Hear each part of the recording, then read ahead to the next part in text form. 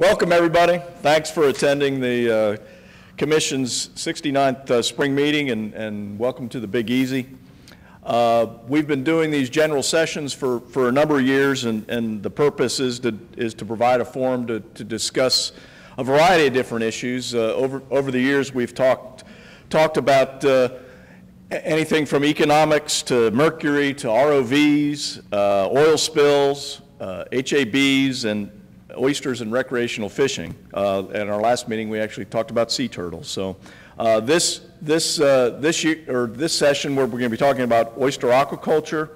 Uh, Back in 2016, uh, we began a cooperative effort with NOAA Fisheries.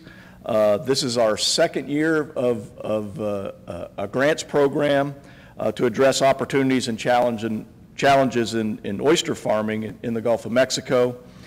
We've, uh, the previous year, I think we funded six projects. This year, we funded, this past year, we funded seven, excuse me, for almost uh, $400,000. So the presentations uh, will be uh, from those seven projects and, and presenting results and, and overviews. And again, thanks for attending and, and uh, en- enjoy the proceedings. I'll turn it over to Steve.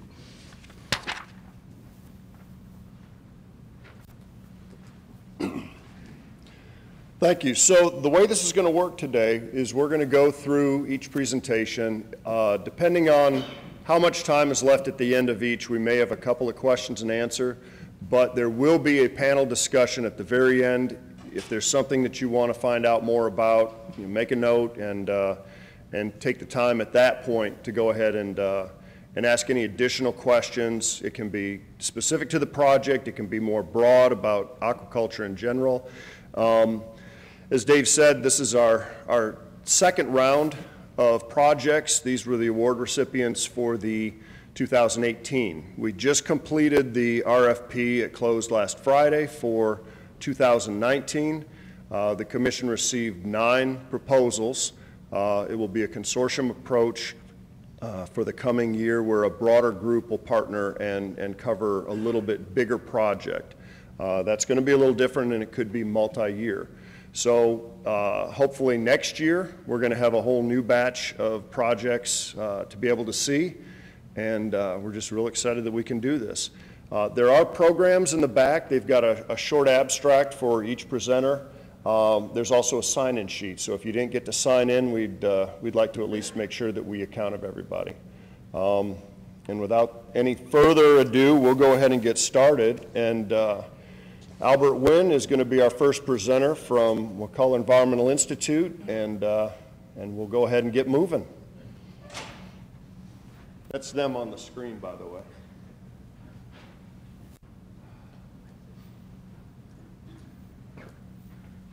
So good morning. I hope everyone is not as asleep as uh, I am right now, but um, in any case, um, I'm Albert Wynn. I'm Z- uh, Associate Director at Wakulla Environmental Institute. Bob Ballard is the Executive Director, Tallahassee Community College Wakulla Environmental Institute in Wakulla County. Um, I have with me today Mario Marquez, who is the PhD student from FAMU School of the Environment. Actually did the research for us and Dr. Charles Jagoe, who's the distinguished professor at FAMU School of the Environment. And what we wanted to look at was um, in our oyster aquaculture program, uh, different methods that affect the farmer uh, to have more positive impact. What are some of the negative impacts? How we can help with them in the industry develop their crop. So what are the inhibiting factors? Um, so one of the things we look at are different oyster growing methods, and in that, uh, some of the equipment that's used, and also oyster spat retention because of the environmental effect that it has there. What we encourage in our program is that they use 20% of their crop be diploids um, versus all triploids, and that is for the receding effect um, of oysters for the estuaries. Okay, you can move on to the next slide. Oh, I'm sorry, I got to use it myself. See, I told you I was asleep. Uh, and on our, here is the uh, location of our site. I'm going to see if I can use this laser pointer now. Um, this is the five acre site that we have, research site there in Oyster Bay, right behind Piney Island. Um, and we'll go a little bit further into that and what effects the hurricane had on us as we move forward. So again, our objective was to look at different oyster grow methods. And because leases are in different uh, locations, uh, there are different ways to grow your oysters. So we wanted to look at uh, deep water leases for this particular instance. So we looked at the OysterGro deep grow system and also the hybrid, SEAPA hybrid uh, system. Uh, and in our comparison, what we wanted to look at was length versus biomass, and then the comparative analysis between the both of those. All right, and so in looking at over a 270-day period, and what we noticed that there wasn't a significant difference between the SEAPA and the OysterGro. Um, and you can see that through the data. Mari Marquez is back there. He uh, did the data analysis for us. But when it came to the biomass, we noticed that there was a significant difference between the SEAPA cages and the grow cages. And then the comparison of the length versus uh, tissue, there was no real uh, significant difference between them. Um, but in practicality, um, we came across a natural catastrophe, Hurricane Michael, I'm pretty sure people knew about it. Fast-moving hurricane. Uh, category two is what we experienced on our lease. Um, we had about 24 hybrid cases. I know it says 12 there. And we lost uh, 21 out of the 24. So we only retained uh, three of those. We have since found some of those cages in an area, and we'll get with the FWC in re, uh, retaining those. Um, but not only that, uh, in, in that experiment, what we found out is that usually they tell you to um, flood your pontoons and drop them, right? And most of the farmers, because of the fast-moving hurricane, didn't have time enough to uh, drop them pontoons down. And so they experienced a lot of death, maybe about 40%, which is what we expected. Um, but we were able to leave ours up without flooding and dropping them, and they survived the category two. Um, so that is significant for us. You know, that was an unintended experiment, but nevertheless, it's something that we learned from. And we try to pass that information on back to the farmer. Um, the lower mortality rate in OysterGro cages is what we experienced, particularly because of the way the SEAPA cages cover a surface area, the color, actually cooks the oysters in high temperature, believe it or not. Um, when we had a high temperature day out there on the, on the lease. Um, and we think that is basically due to the design. So not only the color retains uh, so much heat, but because of the surface area and its proximity uh, close to the cages or the baskets, we feel is a flaw that they uh, maybe should look at. Uh, and then the ability to, to sink them in a, in the event of a hurricane is what we would hope that uh, they would also change in the design. Had a talk with SEAPA about it, and, and that was their intention. When you look at the design, they'd have a place where uh, they could actually unscrew a cap, uh, but they never included in the design that they gave us. And they've since made some changes, and we are looking forward to uh, looking further into that. I got. All right, so the other objective is, uh, the other thing that we wanted to look at was the effect that uh, oyster spat retention. Uh, um, so having diploids out on your lease, how would that uh, affect the natural oyster population?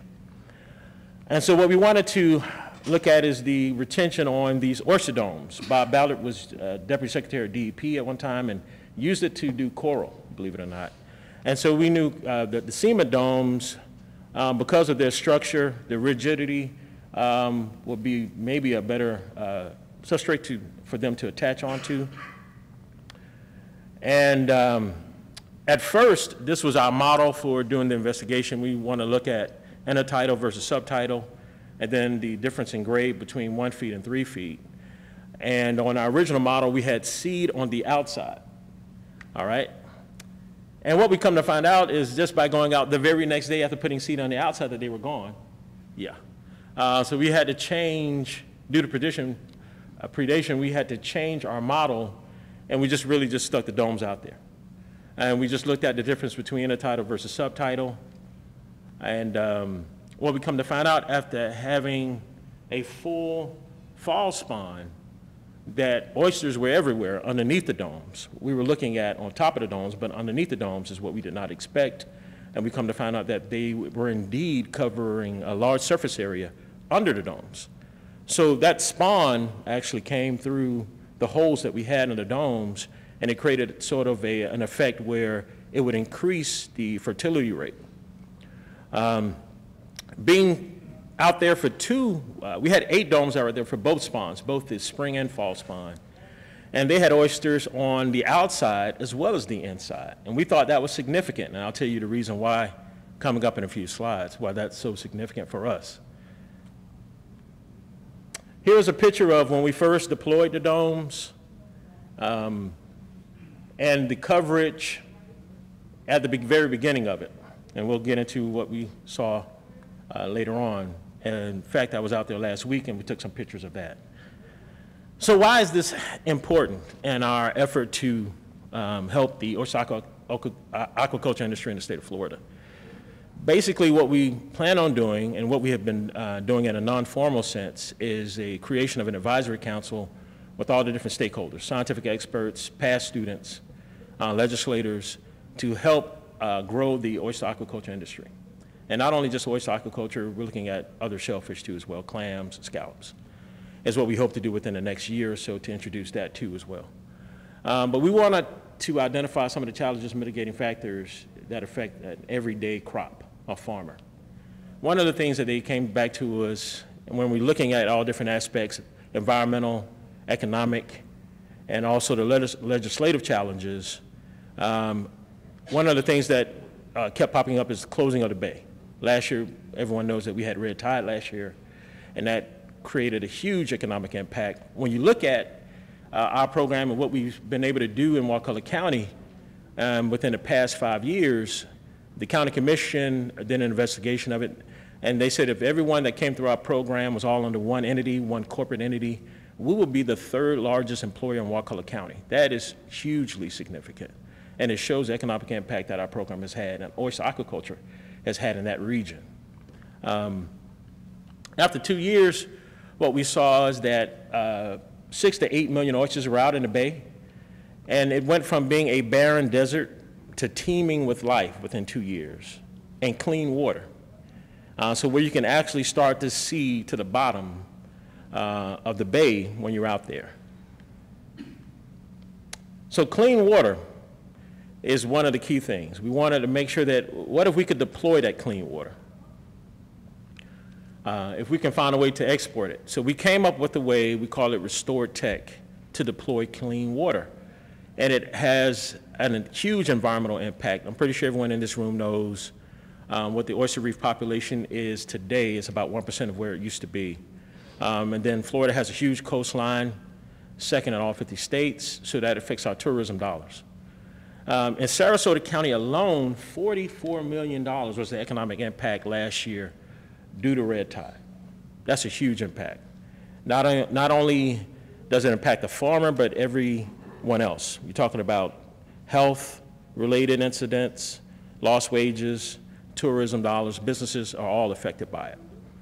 Um, and so we wanted to answer some of the questions that would result from being able to deploy clean water.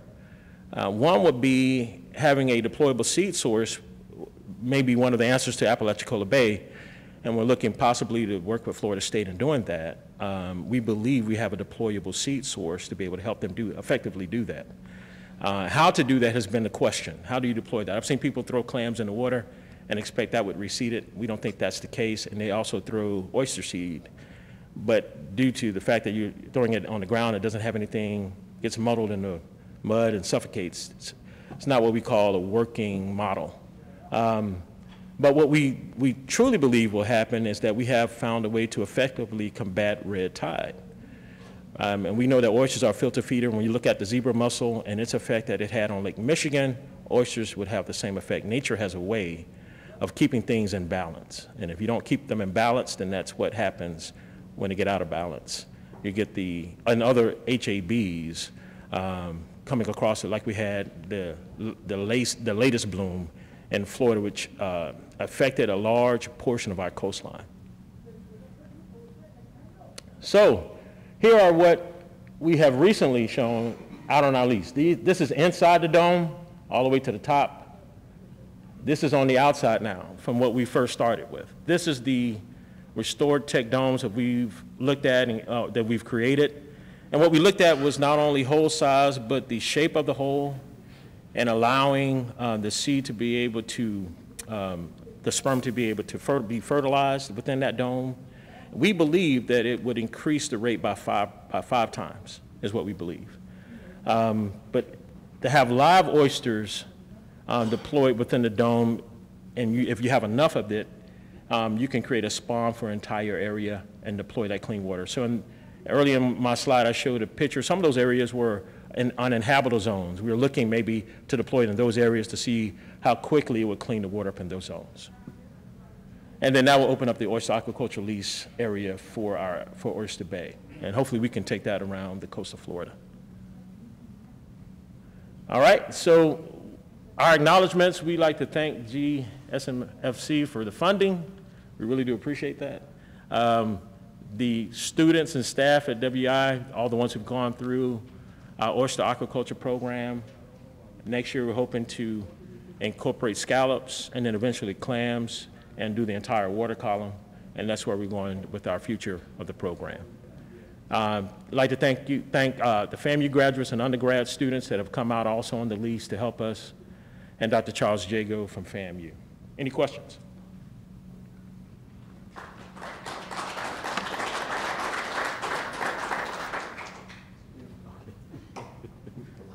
Okay. We have quite a bit of time for questions. Yes. Um, Yes. Yeah, hey, uh, good to see you, Chad Hanson, also in Polk County, kayak fishing near us for Bay, which is supposed to be right there. Um, So was the, uh, your clean water determination, is that qualitative or is that quantitative? Did you get any measurements on pre, post deployment of those oysters, and I was just wondering if there's any data on that? Yeah, so um, just by pure observation, we noticed that we can see down to the bottom of the bay where before we could not see that. Uh, We are looking to do clean water research with FAMU, and we have the experts uh, there would actually look at uh, the the quality of water, and they'll look at the nutrient population there to see what kind of harmful effects. We have some uh, information from that. Uh, I won't disclose it because it needs to be peer reviewed. Um, but we looked at, I can probably say we looked at nitrogen and how much nitrogen was in the system at that particular time, how much was taken out of, the- out- out of that system due to the oyster population. Any other questions? Is it- Is it on? Oh, it's on. Uh, The, I had to step out during your talk, so if you, if you answered this, forgive me, but you Yes. mentioned that a certain percentage of the spat that you, or the seed that you're asking people to put out has to be diploid. Can you- Yes. Can you go back over the reason for that? And, and the follow-up, I think I know what you're going to say, is I'm guessing you all are considering your system to be spat limited, and so you need a certain number of additional spat in the water you feel? Or- Well- Or, or larvae? Yeah, so in our efforts, we, we are uh, looking to have a positive uh, impact on the environment. So we all know triploids don't produce any spat. So we ask that our farmers, um, 20% of their crop, we ask that they, they use diploids for the reseeding of an area. And so for the continuous growing of the different oyster estuaries that have been depleted so much um, due to overharvesting, overfishing. So hopefully we can, with that, with that effort, uh, have a positive impact on the environment with that.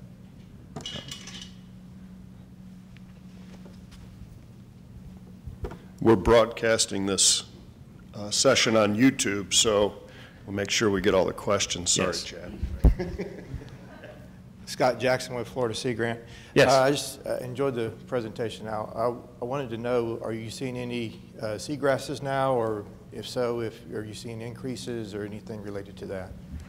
Yeah, and we are seeing a difference, seagrasses, and we're seeing, uh, like I said, it's teeming with life. In fact, people would tell us, and I've seen it firsthand, people are actually fishing on our lease. Um, I'm okay with that. You know, I'm trying to catch some stuff myself. But, uh, yeah, we are seeing a difference. We are seeing seagrasses grow. That's what happens naturally when you um, reintroduce a keystone species. We all know that oysters are a keystone species. When you take that out of the environment, is when it will have a huge impact on your ecosystem.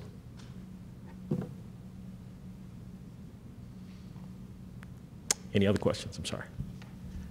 I try to be as succinct as possible because I, I know we have someone else coming behind us. Well, since we have so much time, do you want Yes. to briefly describe what the Wakulla program is with the students and, Yes. and, and what that is working to do? Yeah, so we've had about 100 students come through our program so far, and some have gone on to create their own, uh, each one we try to encourage, it. well, we encourage them to start their own company. They have to have their own LLC, and each company would have at least three employees. Some have gone on and gone further and started own distribution and processing facilities. Um, And I could probably name a few of them, Oyster Boss.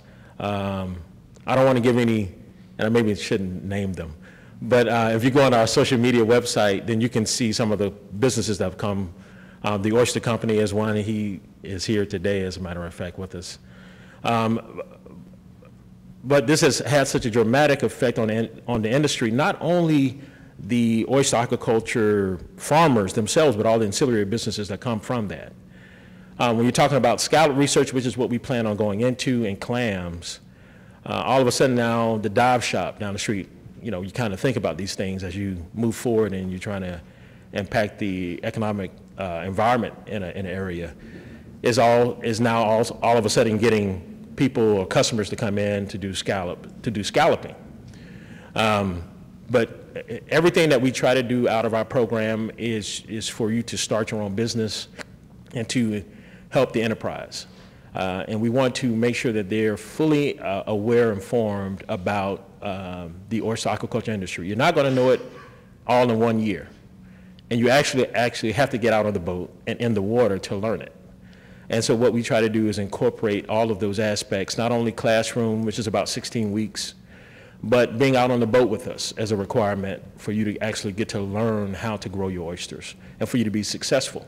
So we normally say from the first year, you start off with 100,000, and then you double it every year, and then you should learn your crop by then.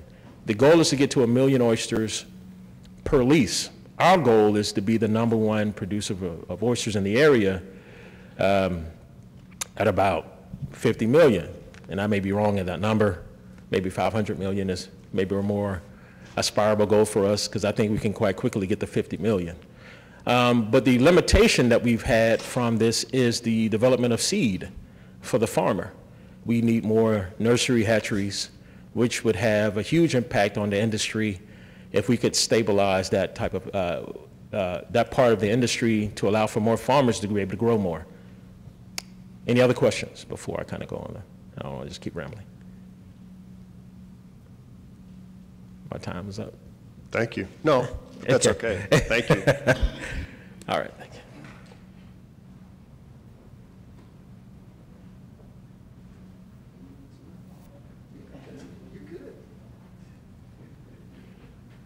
Well, we will keep moving on then.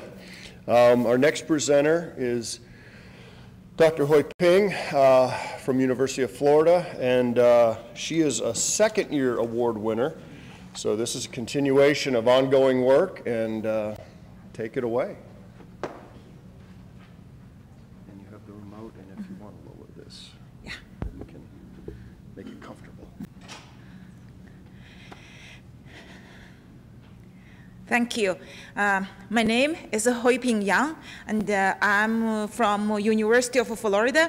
And my talk and, uh, will be the induction of the oyster tetraploid founders to address the triploid seed production for the Gulf oyster uh, industry.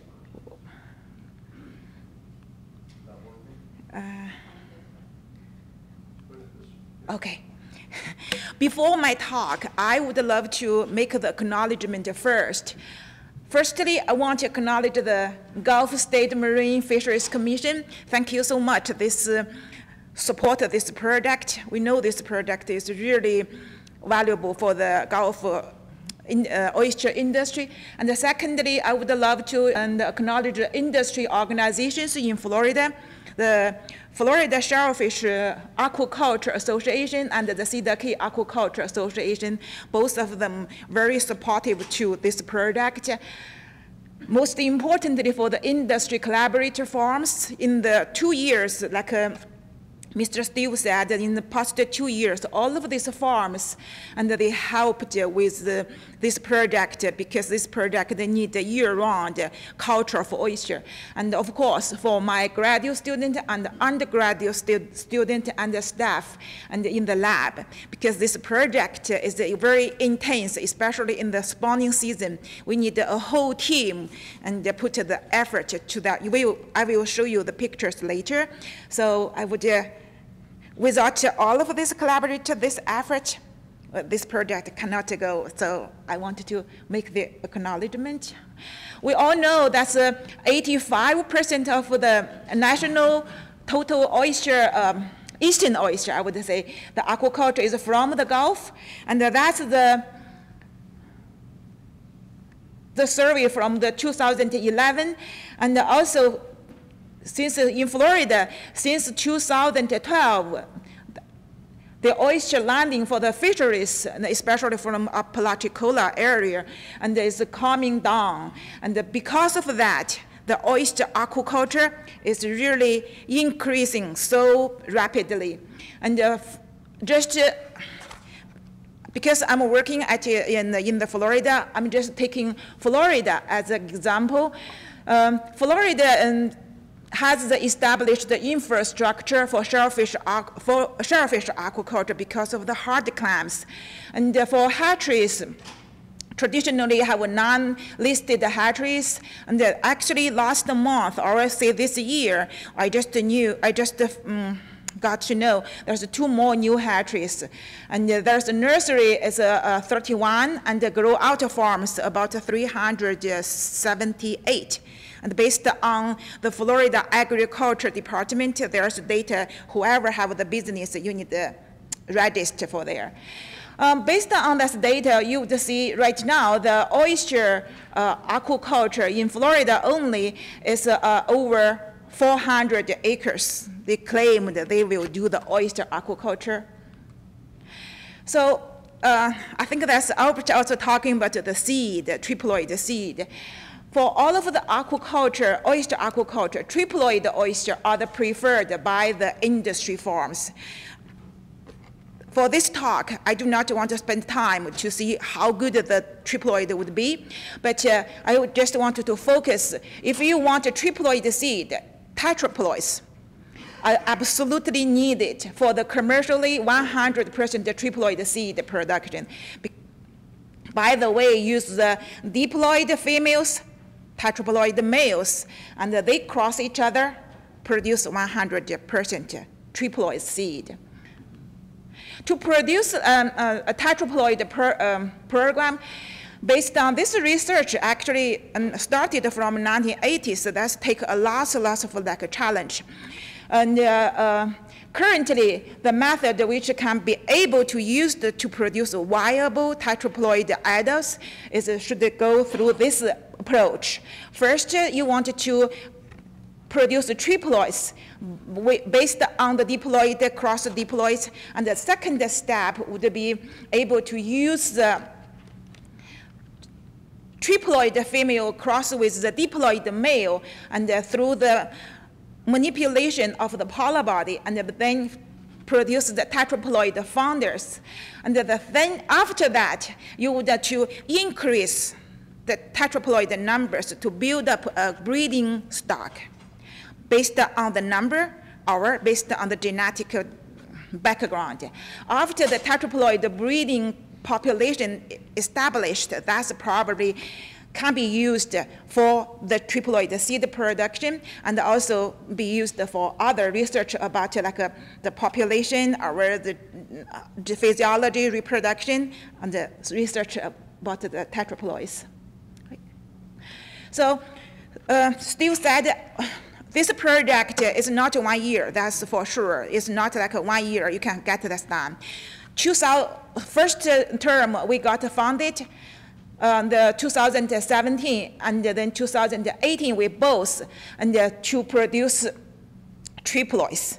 So you will see we, the brood stock all collected from the different locations in uh, Florida, west coast, of Florida, not the east coast uh, Florida. We be able to get the oysters and uh, do the uh, spawning. We do the dissection strip spawning and do a lot of treatment, a lot of lab work and the hatchery work, and be able to produce chemically, chemically induced triploids. That's the results from 2017. We be able to, that's the spawning, that's the spawning uh, dates, and then three groups, we produced that many uh, seed. And uh, this seed,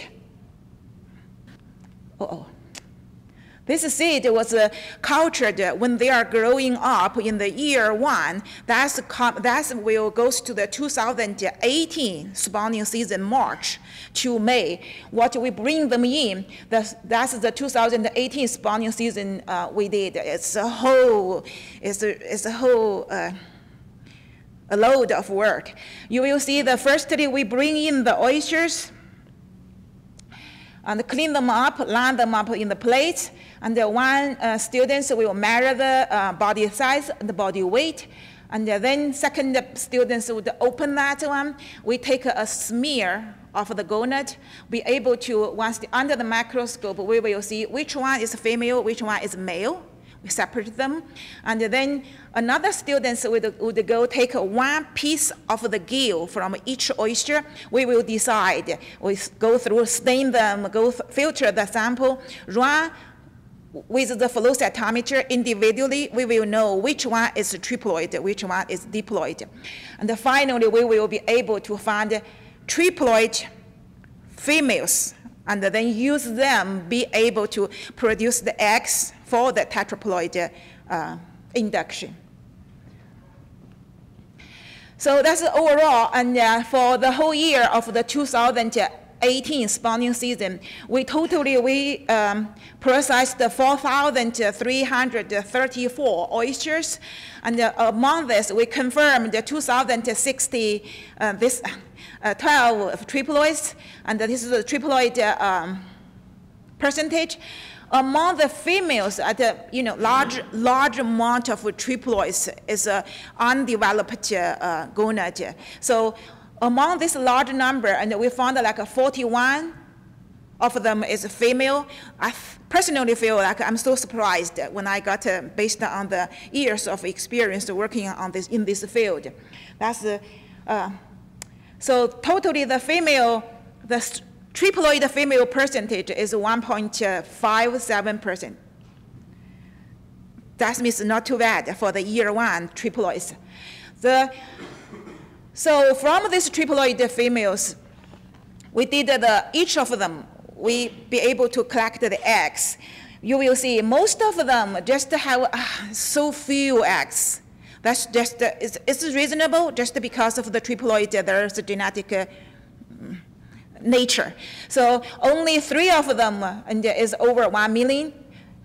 So you, no matter what and whatever the eggs uh, produced, we usually do the spawning, no matter how few the eggs are. We combine them, we'll be able to do uh, some spawning.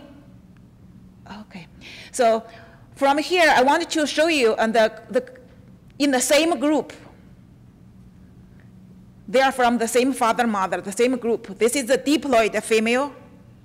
See, the gonad is really huge, but this is the triploid female. They're kind of very, very um, re retarded, I would say retarded.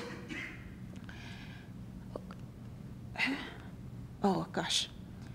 Okay. Um, because we did the whole measurement of the each oyster for all of the data and based on the date, based on the population, three population, where they cultured, uh, when did we uh, mm, bring them in and uh, their size, their body weight. We did all of this measurement. I would say uh, this data, because it's two big numbers, 4,000 data point, uh, I do not have a, a, conclusion here yet. I just want to show you an example here. And then for the triploid, you would say triploid male. Not we call the males. Actually, they are not really males because they are not do not have sperm. We try to run the flow cytometer. We will see if they didn't develop what their gonad development. We take a piece of uh, gonad, take a piece of the gonad. We run the flow cytometer, the ploidy. You will see there's different types of the. It's very interesting, uh, like. Uh, funding, I would, I would say, they have this major six or I would say five types. Some of them, that's, that is a triploid peak. All the, here, the red one is a sperm peak should be, the diploid sperm peak should be. You see that for the triploids, they are kind of, some, of- some of the triploids and the pentaploids, because this is a, more like a laboratory intended. I do not want to talk this too much. But I would say for this project, I want to talk about the challenges for here. The challenge, the first one is the limited availability of the oocyte, we call the oocyte X, from the triploid females. Um, this is, mm, for actually for all of, in the previous research, all talking about that really have a very, very low uh, availability of the eggs. For us, our data shows 1.5% of the triploid, and the triploid can produce 100 to 1 point million eggs. This is the year one triploids. They are still young. And uh, so that's not too bad. That's to me. To me, that's, I feel like this is not too bad. The further improvement we will do is uh, we still have this triploids. The, this year, and uh, actually I go back to the lab, we'll start to work on this. That, they will be year two. When they are older, tended to be more female, tended to be like uh, produce more eggs. And the second uh, um, improvement uh, we want to do, it, thinking to do, we tried to conditioning of this triploids for the gonad enhancement. So we just uh, in uh, November and uh, um, January, we built up an insulated uh, recirculating uh, tank with temperature control. Hopefully this year, spawning, we will have more female with more egg. The second challenge would be the uh, poor survival of the induced tetraploid larvae. Uh, based on the research for the Pacific oyster, the survival of the putative tetraploid larvae would be 0.0739%. That means you, at least you have to 1 million egg to start, based on this low survival. For our data, I, we did all of the spawning, all of the, oil, the larvae, it looks pretty good in the first few days, and, but they die out at day seven to day 10. The, this picture shows like the, you see, only this one survived, there's a lot of empty shells. Um, the solution, what I'm trying to thinking about this, the whole, uh, through this project, we will increase the uh, egg quality by conditioning the triploid because in 2018 we just bring the oysters in and put them in the refrigerator, not uh, cooler, and we process them within two days or three days. This year we will put them in the water because make them. I will, would assume that they will be feel much better in the in the water rather than in the cooler. So another. Uh, uh, solution or improvement we would be take good care of the larvae, that's for sure. Oh, gosh. Oh, sorry. Uh, this is, actually, this is the larvae we produced uh, uh, last, uh, the putative tetraploid larvae. Just, just means the group is, yeah. You see, that's the day, um, day five, they look, every, everybody looks happy. They are kind of very, lots of larvae. And then in the day 10, uh, lots of them would, uh, that's the one, one uh, oyster. I believe this one, in this group, we only have three survived. So in one, in one group, uh, the cultured in one farm, and they survived, about several hundreds survived, and uh, grew up to the um, kind of uh, this size. We planned to bring them um, inside the lab to confirm the ploidy individually, and uh, by uh, the end of February this year. But when I contacted that farm, and I was told that that's, um, unfortunately, these uh, oysters will suffer accident death. So, but yeah, we will continue this year. You know, that's the way only to go. With that, I would uh, thank you for listening.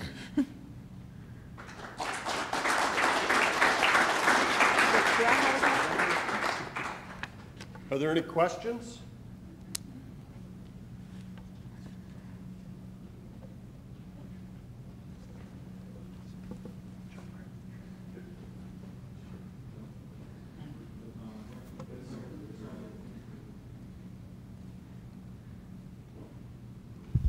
It's working, yeah.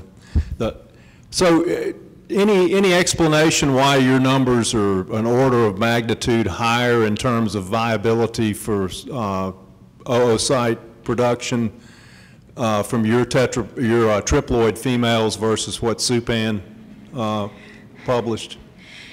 Yeah, um, I would say for the occurrence of the triploid female and the egg production from the triploids, it really depends where you culture them. You see that for, for this research, uh, 2017, the same father mother, the same group, actually we separated them. Some of them culture in Cedar Key, some of them culture in the Wakulla County. And, uh, you know, that's uh, even the same group, the, the, the, I mean, the brother and sisters, and the, you culture in a different location is come out differently. This could be related to environmental, the food availability, the temperature, salinity, a lot of, a lot of different factors. Actually, for this product, I'm, I'm a little bit surprised that for year one triploid, we can find like 41 females. You see the Dr. Supan's and, uh, report, he found like one in 16 in 1,600.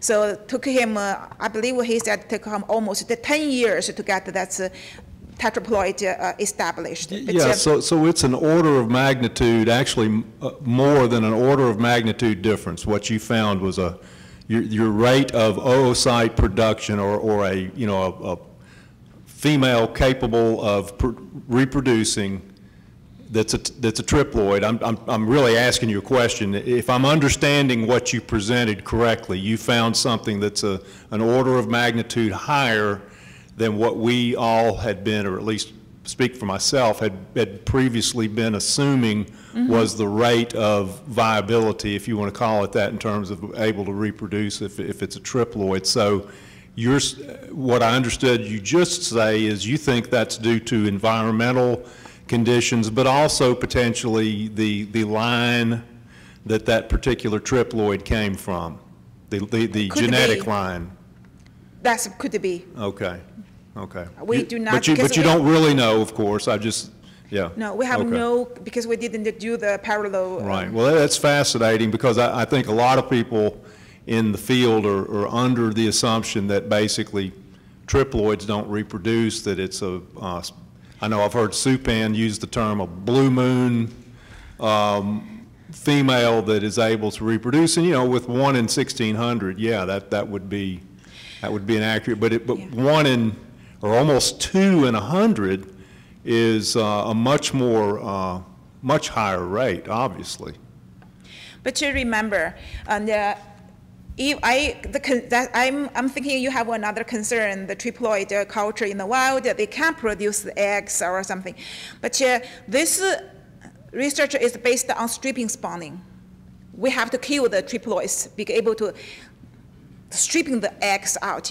But if you put them naturally, let them spawn, even they have eggs over them, they may not spawn. That's another like a barrier.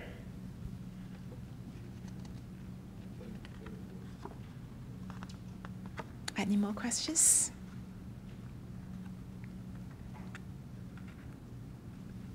Okay, Thank you. thank you.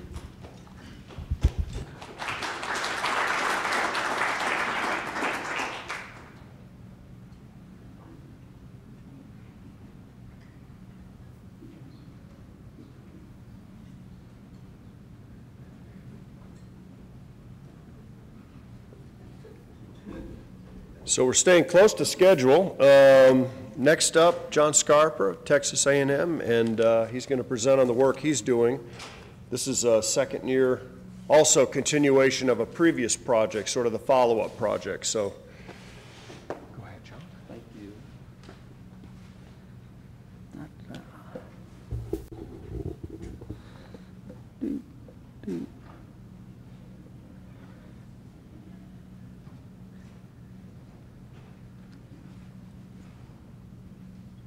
All right, thank you.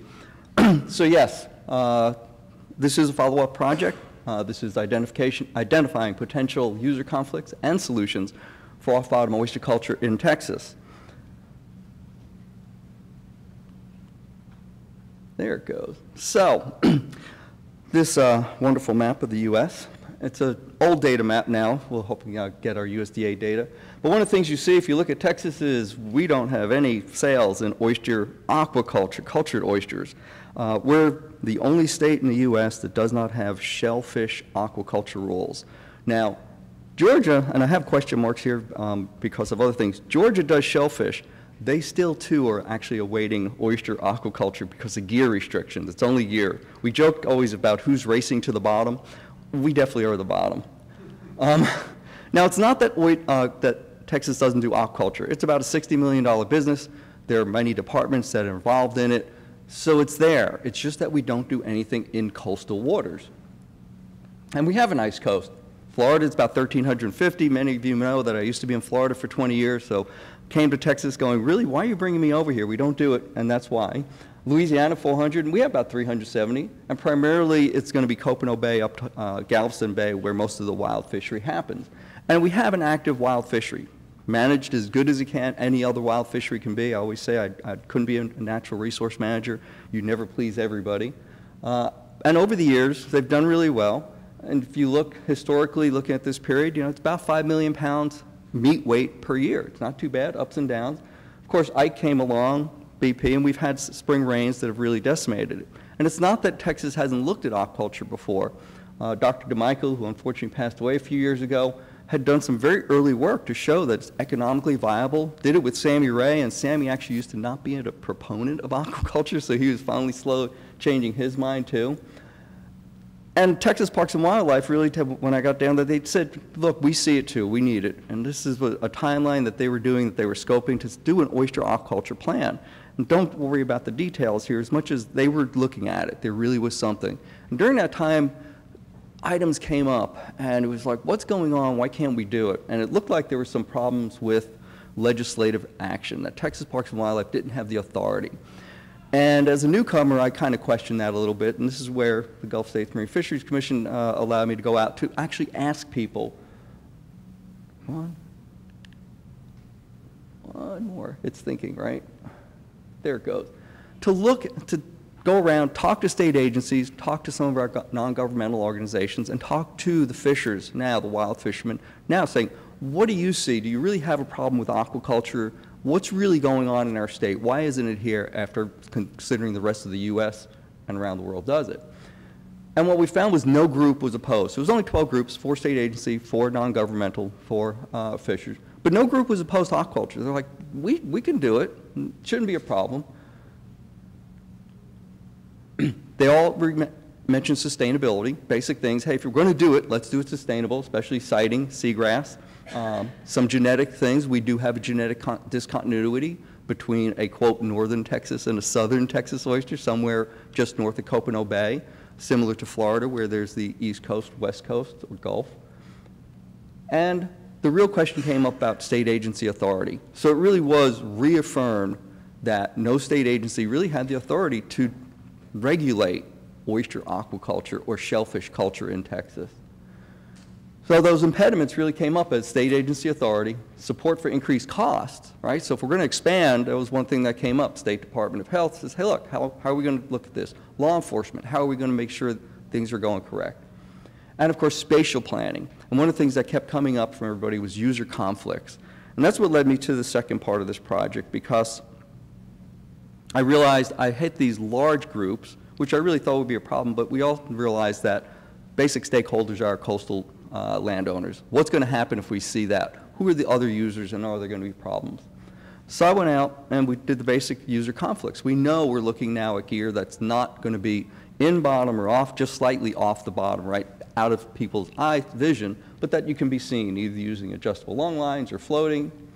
And so it was a very simple thing. Go out and talk, see different groups, right, try, ask people what's going on, and we talked and we talked again, right? You get, get because it is how much stakeholder, really, what's going on? What, what can I find out? Really trying to find a person who would say, this is just off the wall.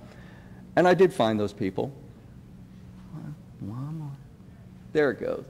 So I did a very, very basic survey with these groups. There was a pre-presentation survey. I had a list of questions, tried to get demographics, but really part of it was coming down to what is your general opinion of aquaculture? And then what is your opinion of bivalve aquaculture using positive, negative, or no opinion? There are always people like, hey, I don't know enough. And then, of course, afterwards, I did the same question, post-presentation, what's going on? And the other questions was, is there an impediment or concern you have with allowing off-bottom culture, and do you have a solution? Those were fun ones. It really was. Hey, there are lots of people we're going to ask. Well, this is just a partial uh, table of what's going on. There's just three groups here that I presented. So pre-presentation, you look up, and you realize there's various groups, uh, various proportions that even know about aquaculture, really understand it.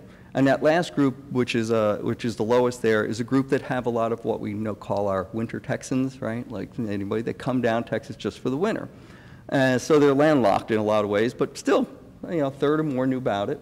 Post-presentation, I was really glad that most of them then had an increased uh, feeling about, well, positive, and these are all positive responses uh, about it, not just about aquaculture, and that when we look at that change, it's really nice. So I was really glad at least I was bringing a point across to them what's going on? You know, is this something good? Some people actually turned around and said it's not good. I did have a couple of those, and that's why I got to go back into the data and actually look exactly who I was going up and down with. But in general, most people, after hearing presentation, understand aquaculture. So it's part of that general education that we have to do, that we realize that as we're going out to try to get things changed, we have to get the public behind us. Now, some of the comments, just a few, just to see, because uh, they all wrote out comments. It's really fun transcribing these things. Uh, uh, negative uh, concerns, navigation restriction. Everybody understands this. Hey, it's going to get in the way of recreational boating. Make sure it doesn't get in the way of energy, right? Our, Texas, big energy exporter. Corpus Christi Bay, our, our port, fourth largest uh, by tonnage in our state, first in energy in the U.S. Uh, lack of uh, public understanding of benefits. We've talked about this. Albert did a good thing. Hey, this really can help. And then that industrial visual impact, that aesthetics. People live along the coast. What can we do? And we have plenty of places along the coast that don't have coastal homeowners, but you always wonder where development will go. The other ones, of course, would be things like select barren areas, away from shoreline and popular fishing areas.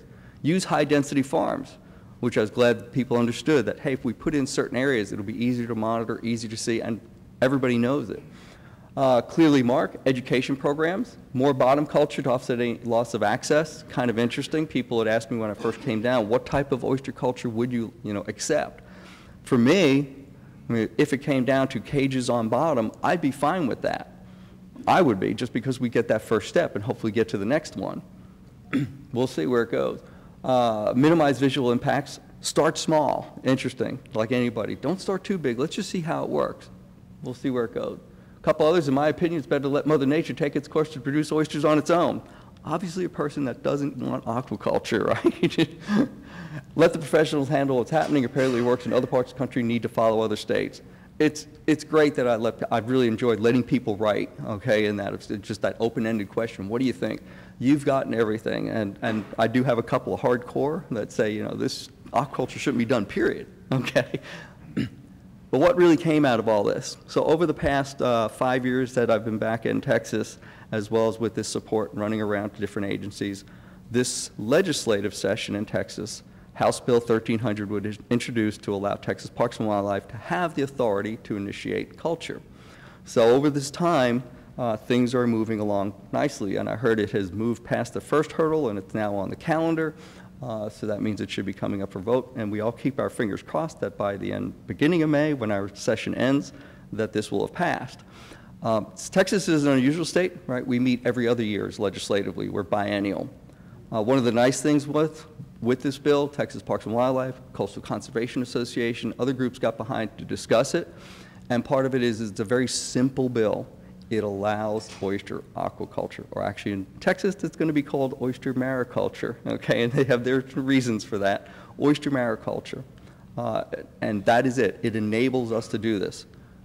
This allows regulation to take place by the Texas Parks and Wildlife Commission, which meets about quarterly or more, uh, and that way regulatory things can change more often instead of waiting for legislative action. So we're real happy with how things have gone. I think the education program, talking to people, has really allayed many fears that could have been out there of what's going on. I've been surprised at the uh, perception of aquaculture by some people who I would have expected to know more about what aquaculture is, especially oyster mariculture. So with that, I thank you. I thank the assistance of our extension agents who helped me get some of these meetings, and if you have any questions, I'll be glad to take them.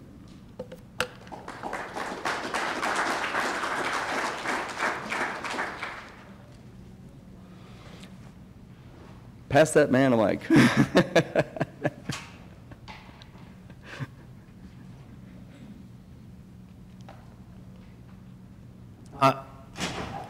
I heard you say that uh, y'all were able to pass this in Texas if you called it mariculture instead of aquaculture. It's not that it'll pass, it's just it legislatively, they want that language, and that's at the political end. For some reason, it's called oyster mariculture to separate it out from some of the other aquaculture that occurs. That's- Because those are two separate types of growing. It is. You know, on bottom is a mariculture transplant natural product, where aquaculture is started uh, off, sh- off of the, not within the growing area.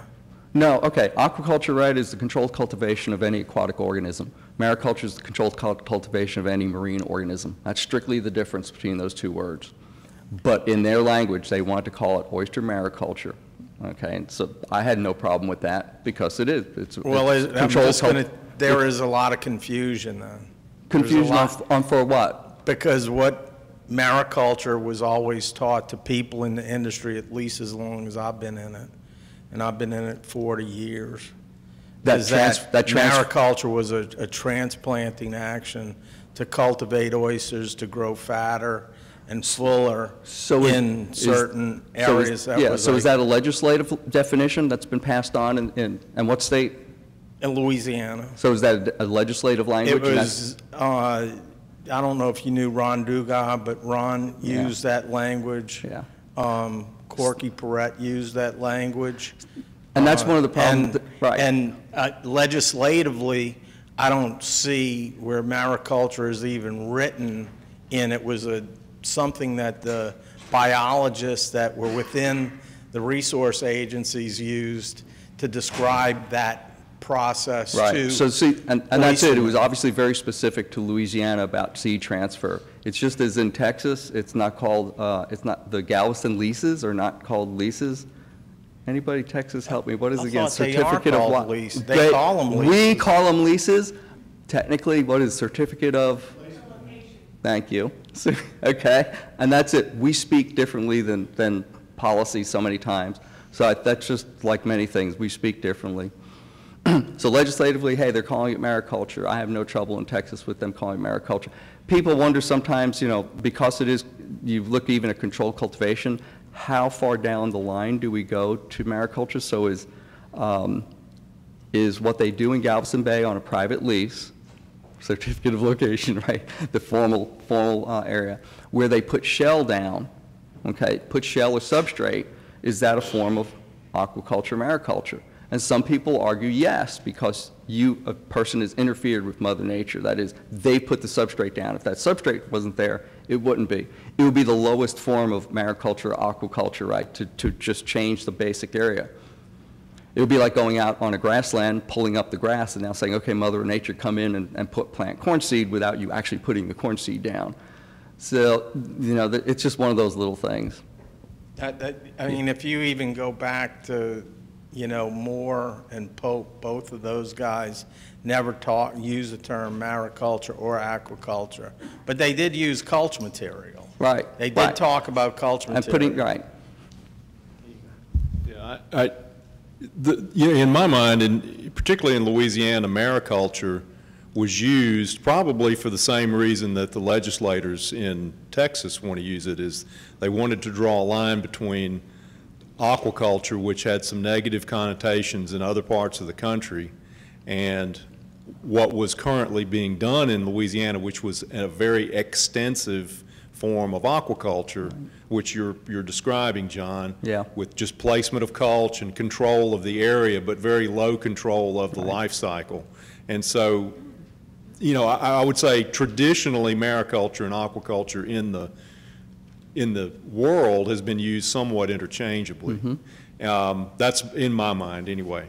Yeah. But the, the question I wanted to ask you is, is the, isn't some of the drive behind the development of aquaculture or mariculture of oysters in Texas, the, the hatchery reared Yeah. animal? Yeah. Um, Is that being driven by the restaurant industry somewhat? That's my understanding. So the restaurant industry, Texas Restaurant Association has gotten behind this. Um, They would like to have more Texas product, uh, and, and yes, so they, they've been behind this also. Like I said, it's been very, uh, very supportive by different groups. Uh, So John, uh, Bill Walton, just, I thought it was interesting, you said that, uh, um, if I understood you, that no state agency had the authority. So, to split hairs here a little bit, I've been under the impression that um, the legislation was needed to give permission to do this. But in a state where nobody has the authority to regulate it, couldn't people just do it? So interesting, yeah. It, us- you know, usually most states act that way, and for some, Texas is an opposite if, if it, it- and don't ask me how it's known, but uh, it was something early on I learned. It's like, well, hold it, if you don't have regulations or anything, why can't we just do it? And they're like, well, then you can't do it because we haven't said so. And it really is, it's like, if it's not written that you can do this, you can't do this. I don't know if it always holds true, but in general, that was it. So if anybody would go forward and ask, there's like, well, there's nothing here that allows you to do it, so no, you shouldn't do it. It's not illegal, it was just that you shouldn't, you can't do it. So, the- yeah, if you did it, you weren't really breaking any laws, right? But they were like, you shouldn't be doing that. So, yeah, and, and the permission part, actually, that with the legislative, really, the authority is that Texas Parks and Wildlife, and this is the agency that it's going under, versus something like Texas Department of Agriculture, they already have the oyster chapters for fishery and all that. So it makes sense, as- even though they're, you know, I look at it as a uh, resource, natural resource, this isn't a resource, right? So I come from, you know, other states, right, that you think of it as an agricultural product.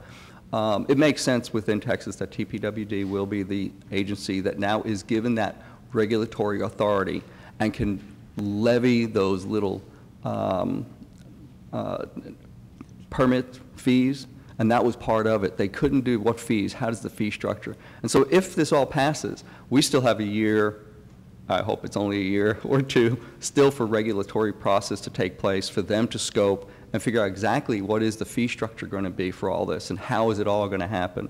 We have a long way to go. John. John Bell, I'm with um, NOAA Fisheries visiting, and I, I, my, I have a question. The way you define mariculture, if I understood that right, it was not necessarily that it's marine waters, but it's a marine organism. So you technically could take a marine organism and do it, like if it was on land, then it would be mariculture? Well, if, if it was being done on land and marine, I, you know, it is. I think we get into that wordplay here. Yeah, So okay. shrimp, Pacific white shrimp can be done at one part per thousand, which is technically fresh water. Would a person say mariculture, aquaculture? Like I said, th- these, these, um, you know, we don't have a lot of them legislatively defined. In some states, I think Florida actually has aquaculture defined, what it is. Uh, But in, in other states, you know, we don't. So, um, yeah, it's when people ask, what is the difference? It's like, hey, one's marine, one's, you know, everything. One's the umbrella, marine is strictly, stru- and I usually use marine organisms because it makes people think a little bit easier than just saying salt water, you know? Like, oh, marine organism. Even that's kind of highbrow for some of them. From the sea, you know, you have to use. And it, and it is, it's, it's been a real good eye-opener for me going out to see the public. And one fast part I forgot to mention, most of these uh, surveys, of course, groups that come out for it are older individuals. Um, in two weeks, I'm actually running down uh, to a different part of Texas, and, and hopefully we'll be getting some younger input. Uh, couldn't do it in, the, in my own school because unfortunately there's authoritative things, that whole IRB, institutional review boards, when they go, I was like, ah, I can't do it in my class because the students will feel compelled. One of the reasons you see the N values change, in case you've ever done it right, people who do these surveys, you can answer, you can't answer, it- it's all up to you, so you have these splotches. Some of them were real funny because they would mark, and I would swear what they did was they marked pre-test for post-test, because there was no- nothing on the post-test, and it's like, well, there's no answer, I can't say anything, you know, I can't make assumptions about it. We don't all follow instructions very well, do we? Uh, So times, at times. Any last questions? Great, thank you very much.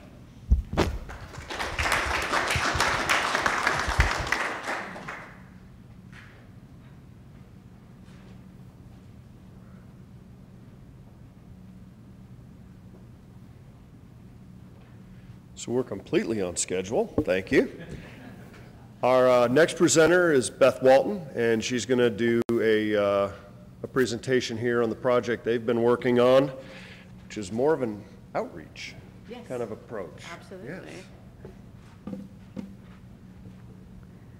Good morning. I'll be talking to y'all about a group I'm working with called Oyster South, and it's lessons from the Dirty Dozen, which actually turns out lessons from the Baker's Dirty Dozen. so, with that, we'll get started.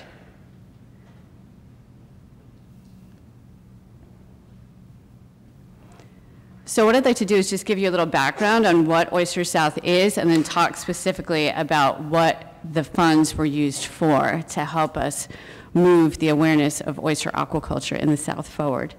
Um, in the beginning, Oyster South, we began as a very informal coalition of oyster farmers, extension agents, restaurateurs. So pretty informal, a great group, but we didn't really have a framework uh, to fundraise. So in 2016, we did form into a 501c3 to help support the southern oyster farming community. So this includes, as I say, pretty much everybody who's interested in southern farm-raised oysters, whether you just like to eat them, or you're a, a, a farmer, a chef, a shucker, distributor, etc. Lots and lots of people interested who support that mission. Or if you're someone like me who likes to talk and likes to eat oysters and talk about eating oysters, this is the community. So essentially, we have two branches. One is what I call the industry. Um, as I mentioned, I put a whole list of different people up here, uh, folks that are members. There are some that are in this room today who are here, who are members of Oyster South. And right now, that portion of the membership has grown to over 200 people, and it continues to grow. We also have the general public branch, and that is something that we're working to develop as well. And this consists of people who are not necessarily growing or um, you know involved in transporting oysters. They're the people who want to just go out and eat and enjoy the experience, and they don't really want to know about the filtration rate of oysters, or they say, "Oh, too much science. We just want to eat." You know that those kind of folks. So of course, we're always happy to have them as well. But this is something we're working to develop and get more people involved on this side of it. So some of the other things that we do, as I mentioned, this is a picture of John Pelly in Savannah, Georgia, eat oysters. but one of the primary things we are also involved with is fundraising. Uh, and one of those uh, events happens every October. So save the date, everybody, October 20th in Decatur, Georgia. It's called Landlocked. Um, we bring together lots of farmers from across the southeast and also from other parts of the country. Uh, the other thing that we do is we facilitate information exchange. We have an annual symposium that alternates between the Atlantic coast and the Gulf Coast. I'll be talking more about those a bit later. We also have a, um, a newsletter that gets sent out quarterly. We are involved in several grant-funded efforts. And another important part of what we do, in addition to me getting up here and, and telling you all about it, is just helping the community to tell their story and how best to do that, and overall promoting not just the farmers, but the whole movement, the whole community. And we also get some fairly decent media coverage from this, and we always try to encourage that among our members and to new folks. So as I mentioned, Landlocked is our annual fundraiser. Each year that we've done this, we've done it for two years now, we've raised over $20,000 each year. We've had about 300 or so people attend. It continues to grow. We're thinking of having a bigger venue, but we might stay at the same location because it's just, it seems to be just the right, just the right size. As I mentioned, several oyster farmers and other chefs. We also have um, some pit masters. They do barbecue. Let me tell you, that has ruined me. I cannot eat barbecue except from the Folks in Decatur. It's quite delicious. Um, and again, a ticketed event for the general public. There's not presentations that happen like this. That, that's more the focus of the symposium. So this is really a, a more informal setting for people to get to put a face to the farmer who's growing the oyster that they love to eat at the raw bar. Uh, the first year, all of the proceeds were donated to the University of Georgia and their uh, shellfish farming efforts to help them move forward uh, to their shellfish laboratory and to help assist that state. And the second year, which was just this past fall, 2018, all of the net proceeds went to a program called the Need for Seed, which I'll um, you know speak about in a bit. But it went entirely to that uh, to help develop folks to be able to get more seed based on just all of the weather, the severe weather we had last fall. I guess it's because I'm short. I'm just saying. Okay. We, we supported other events as well. Some of these include uh, local and regional events. One is called Pete and Pearls, which takes place in Pensacola, Florida. Also, we participated in the Hangout Oyster Festival, a new annual event in Charleston called Shucked and Sauced, which I said you guys won the, the prize for best title. That was a good one. And also this year, the Panacea Oyster Festival. So you know, we usually try to have some of our member forums or some representative at these. And so we're really pleased to see people rallying behind the unifying theme, which is the Southern farm raised oyster.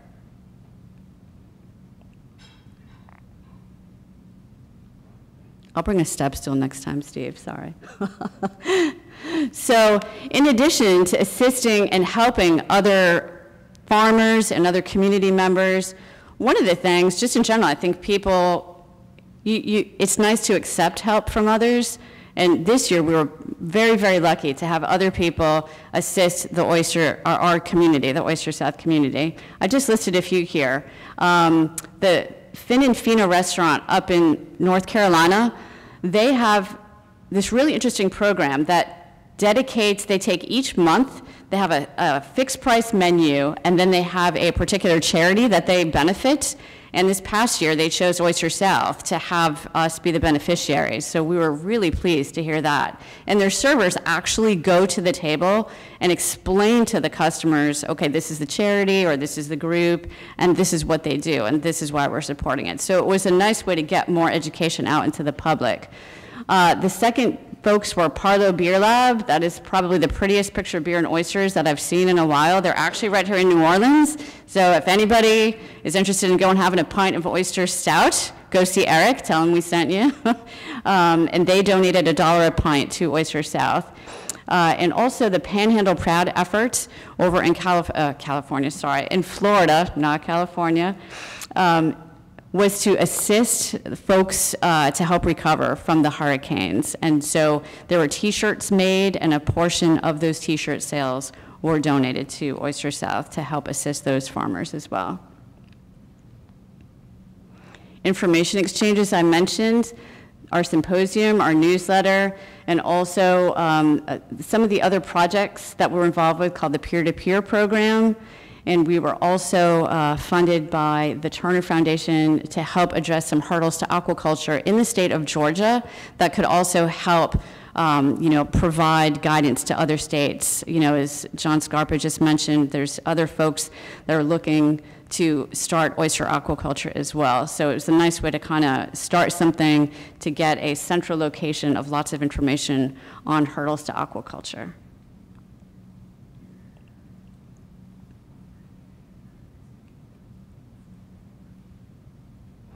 The peer-to-peer fellowship program, uh, we were also involved with this, and this is sort of a um, like a grower exchange where people would go and fill out a small application uh, and then request funds to go to meetings or to other forums or in some cases to other countries. Uh, we worked with the National Sea Grant Program on this and growers from across the South went all over the places I mentioned. Some went to Canada and Australia and even Thailand.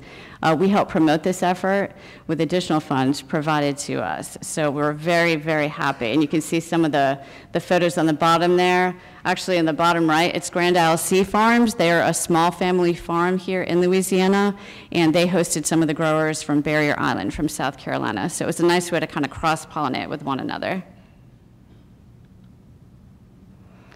As I mentioned, overall brand promotion, these are just a few of the examples that we have of different uh, TV shows, magazine publications, and so forth.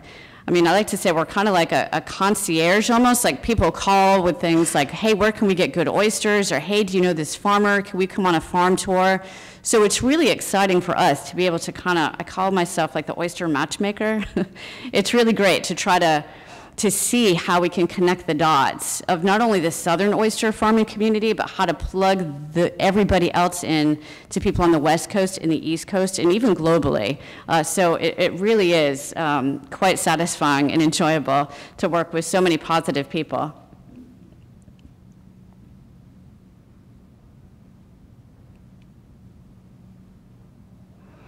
So our financial structure, as I mentioned, um, you know, all the proceeds from fundraising uh, go into grants. None of these funds are used for our operating expenses. Our annual symposium is intended to cover any costs. And also, we're supported by member dues, newsletter advertising, merchandise, and grants. And anybody who attended our last symposium knows it was fogged in for three straight days, even though it was right on the beach, like you couldn't see the beach. Our sales of hoodies went through the roof. It's almost like we planned that, but we, we didn't.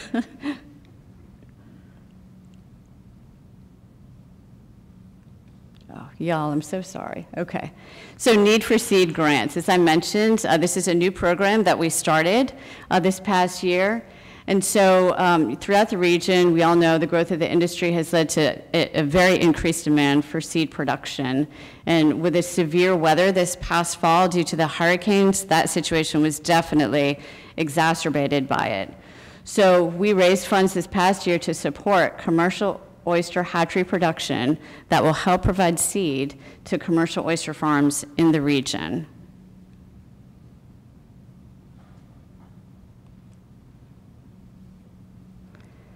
So for the recipients for this year, um, folks submitted short applications. Our review committee did actually review them and we have a very nice geographical spread of recipients, all the way from South Carolina, Lady's Island Oyster, L3 Hatchery in Alabama, Mill Point Aquaculture in North Carolina, Pensacola Bay Oyster Company in Florida, and then here in Louisiana, Triple N Oyster Farm. And I just want to mention, too, we have a Marine Advisory Board, which consists of members, uh, marine extension agents from each state our territory goes from North Carolina around Florida and all the way over to Texas. And then we also have an expanded board of directors that encompasses not only the geography, but different segments. So we have farmers, we have shuckers, we have educators, we have chefs. So we try to have a uh, not only geographic diversity, but also different sectors as well on our board of directors.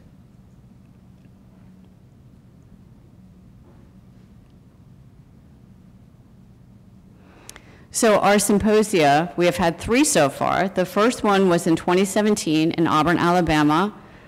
This is one of those things when you do a new event, we thought, well, if 20 people show up, awesome. you know, we'll, we'll, be happy. But we had over 50 oyster farmers and about 100 people in total. So we were really pleased with that. The second year in Charleston, the numbers continued to grow, and we had over 175 attendees and about 100 farmers.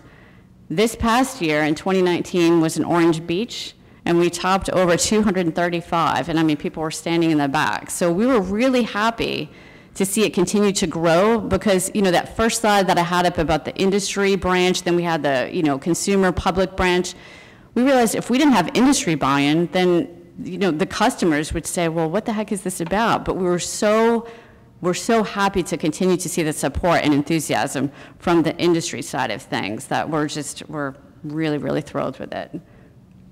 So next year, when we go back to the Atlantic coast, we're going to have to get a bigger venue, I think. so this is where the Gulf States Marine Fisheries Commission the funding came in for us, it was very helpful to bring in, I've listed the group of people, to help add value to our program. And similar to the peer-to-peer program, where industry people went and visited other people around the country, what we did was, we selected speakers that we thought would bring more to the table from different parts of the country and from different segments. And I'll just go through. So essentially, we're bringing, we're bringing people to the industry because not everybody had a chance to travel. So I'll just mention, you know, some of, some of each of who these people are and what they spoke about. So we put together a, storytell a storytellers panel and this was moderated by the folks that are bolded here, Jennifer Kornegay and Erin Byers-Murray. Both folks are writers and authors. And some of the funds were also used to bring in another writer, Andre Gallant, and a filmmaker, Joe York. Um, and each of these people has, everybody who's listed on here has some connection to oysters, whether they're growers or the writers or the filmmakers. Joe actually worked for Southern Foodways Alliance and produced a short film called The Gospel of the Alabama Oyster a few years ago. Jennifer and Erin both are authors and writers and write pieces for the local palate, Bitter Southerner, and Garden and Gun. Also, everybody is an oyster fan, which helps immensely, obviously. Um, the next uh, set of folks, they participated in a panel called The Importance or Not of Quality and it was basically um, talking about what folks look for in their oyster, whether you're a restaurateur, what does quality mean to you as a, a restaurant owner or a grower. That was moderated by Bill Walton, and funding was provided to a, uh, a farmer out of North Carolina, Ryan Belcher, and to a wholesaler in Alabama, JT McKissick. Uh, the next panel was Lessons from the Storms, and three minute tech talks as well. That funded, um, again, Ryan Belcher from North Carolina. He did, we had that guy working a lot, I'm just saying. we put him on a lot of things. But in addition to the storms panel discussion with the, the hurricanes this past year, we have um, sort of, uh, we call it, Bill called it uh, lightning round talks. So three minute tech talks where a grower would get up with either a cage or some innovation or something and have exactly three minutes to talk about something. And we realized at the end of the three minutes, the nice way to get them to stop talking, not even to stand up, people would clap, clap them off. It was perfect. it worked really well. And finally, uh, the last number of uh, speakers that we had was rethinking how we think about sea transfers, Ryan Carnegie from the Virginia Institute of Marine Science. Oyster farming is restoration, Pete Malinowski from the Billion Oyster Project in New York. He came and talked to everyone. That was very interesting to hear about what they're doing with their oyster shell recycling project up in New York, their harbor school program, and also where the, the hatchery that they work with. And all of these things are great models for folks here in the Gulf. Uh, the Research Farm Network, given by Diane Murphy from the Cape Cod Cooperative Extension and Woods Hole Sea Grant. She talked a lot about all the data they're gathering from the different farms around the area and how that could be applied here in the South. And this might be my favorite talk uh, title, Revenge of the Nerds, Effects of Debt Financing on Your Heavy Sharp Rock Oyster Farm, given by Matt Parker from the University of Maryland, all about the economics of oyster farming. Lessons from Tales of the Cocktail by Caroline Rosen here in New Orleans. An educated staff, the importance of server training from executive chef Julia Sullivan from Henrietta Red up in Nashville. And Finding Your Tribe from Becky Wasden of Two Girls, One Shuck here in New Orleans and also of the Auburn University Shellfish Lab. And all of these people, they talked about the lessons that they have learned from their work, whether it's craft cocktails and how to apply that model to what we do here with oyster farming staff education, server training from an executive chef who curates an awesome raw bar and how important that is for their servers to be educated to inform their consumers. And then finally, just finding your people and, and speaking about what, what speaks to you about the oyster and why you're involved and being authentic and telling what you do. And that's what people really connect with.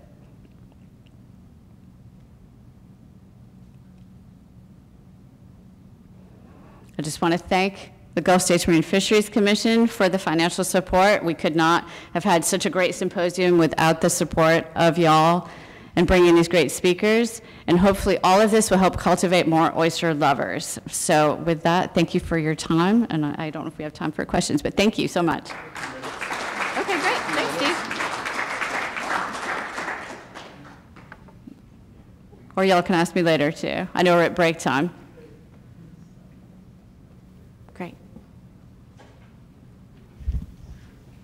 All right, well, we are at a break. Okay. Uh, If there's no Thank questions, uh, I will tell you.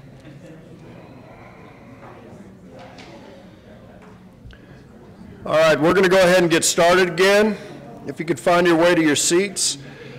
Um, I will remind you, if you came in after we started, uh, please sign in. The back corner, there's a sign-in sheet. We'd like to get a record of all our attendees. Uh, I believe there may still be a few programs back there with abstracts. Uh, If not, we're going to have it available on our website after the meeting.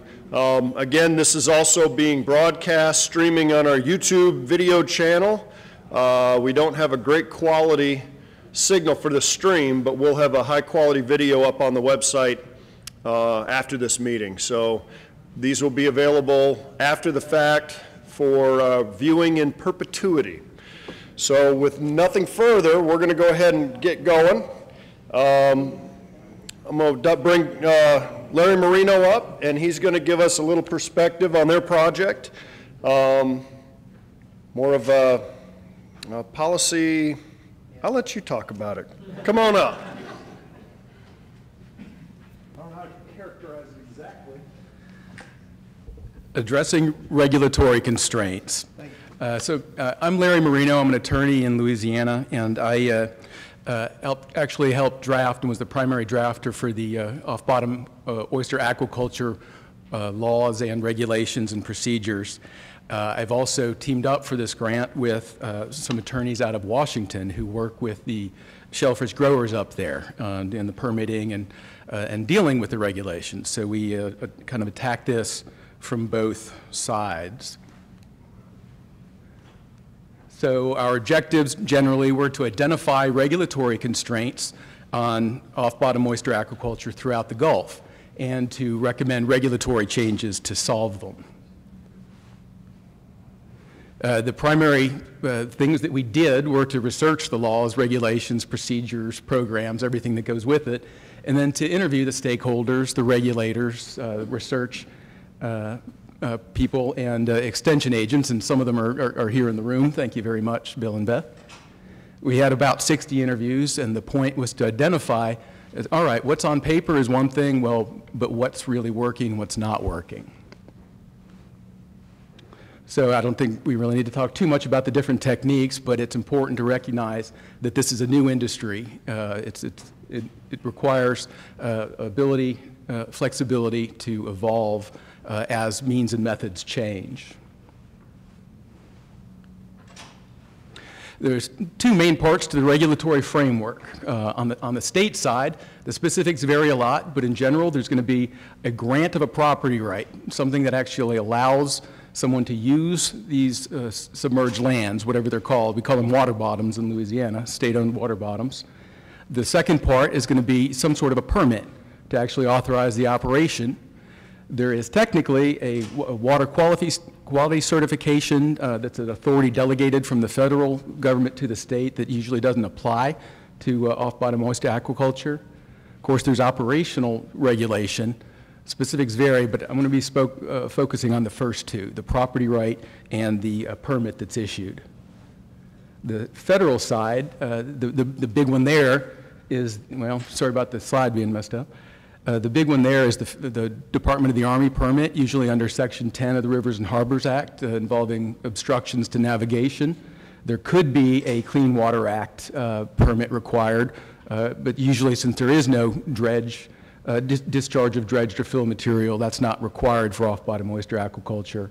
There can also be a consultation required with respect to the Endangered Species Act and the Magnuson-Stevens Act, and there will be a, a United States Coast Guard uh, private aids to navigation uh, uh, certificate that's going to be required. So we'll talk briefly about what works in each state and what uh, might could be improved, and then we'll talk generally about the Gulf-wide recommendations. Alabama is really going gangbusters. Uh, They've got a a very vibrant uh, oyster aquaculture uh, uh, participation. There's clear author authority for this. They call it shellfish aquaculture. Some states have particular terms for it. Uh, The agencies seem to have been quite supportive, and there is a lot of uh, support in the academic and uh, uh, extension communities. And there are also pre-permitted oyster parks, oyster aquaculture parks that we'll be talking about more. What could be better?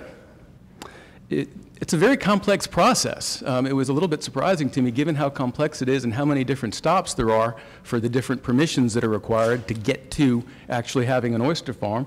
Uh, it- that, that it's working so well in Alabama, but there was a lot of complaints about it, that at each step, uh, it was like pushing a noodle, not uphill so much as up a set of stairs. You- You'd push it up one step, and then it gets stuck, and then you got to push it up the next step. So if there was a central person responsible for pushing th- this through, uh, that would be helpful. There has been, in, uh, specific to Alabama, a marine archaeological survey requirement that seems to have been applied maybe not on an equal footing with similar uh, activities or even more intrusive activities. The idea here being that there might be cultural resources on the bottom. You might stick a piling through it uh, as you put up your, your, your oyster farm. And so you need to survey the entire thing at a cost of seven to $10,000 and six to nine months delay. Um, That, that fortunately is being dealt with uh, through a systematic, uh, more or less Baywide, it sounds like, survey that's been done uh, through, through a grant by the state. But there are still areas outside it, and, and I understand that, that the, the existence of this systematic survey hasn't fully filtered through to individual permit applications. Um, So it, it seems reasonable to either eliminate this requirement entirely, or at least to reduce it uh, to situations where there's some actual reason to believe there might be a buried ship there, uh, or, or to situations where, uh, you know, putting in a dock, for instance, would also require this kind of a survey. Uh, One possibility is there's a precondition, uh, uh, there's a health permit that- that's required from Department of Health before you can start operation, which is a little bit different than, than, than most states. And so uh, rather than requiring that step, it might uh, speed the application process if this were just made a requirement to comply with those health regulations rather than uh, a, a pre-operation uh, uh, certificate that I will comply with the, those, those regulations. Uh, You've heard a lot about hatcheries and nurseries, and I won't spend a lot of time about that. Uh, That's, that's crucial, having more seed supply and more stability of seed supply and uh, distribution uh, geographically. Uh, uh, Increasing the pre-permitted oyster aquaculture parks could be very helpful. It it gets you over the hurdle, the initial hurdles. They can just slot in and start operation. Uh, And one other thing, Alabama, unlike uh, at least Louisiana and uh, the other states that I'm familiar with, um, doesn't actually lease you the water bottoms. Uh, They, uh, whoever has the upland, the, the land that's adjacent to the water has riparian rights, and you can use the water bottoms up to, in this case, 600 yards in front of it. Well, if, if that land is state-owned rather than privately owned, there's not really a process to, uh, to, well, it would be to lease those riparian rights belonging to the upland owner, the state. And uh, they're in the process of working through that, and that should be able to expand the areas that are uh, available for aquaculture. Florida uh, has an perhaps even more vibrant off-bottom culture. Uh, They've got laws that really support uh, aquaculture uh, right in the, in the text of it, providing a direction. They have as close to one-stop shop permitting as you can get, uh, even with respect to the federal permits. Uh, it- It's one application uh, that that, uh, authorities essentially, I don't think they use the word delegated, but functionally seems to be delegated from the Corps to the, to the state to administer those uh, permit. They, uh, there are pre-designated uh, aquaculture use zones where any permit application just zips through. Uh, You got to comply with some best management practices, uh, uh, and there's sometimes grumbling about inflexibility of those, but it it- it zips through. Uh, And there's excellent centralized online resources to explain to someone how to get through all this.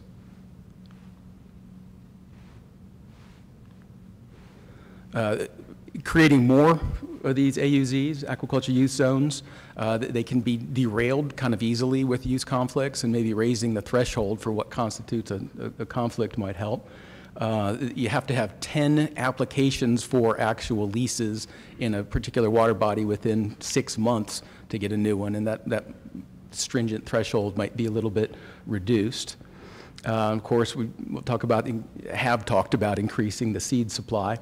And uh, uh, one thing that, that has been emphasized there is creating a public tetraploid uh, oyster broodstock line uh, as opposed to the proprietary one that, that seems to be uh, pre- prevalent everywhere else.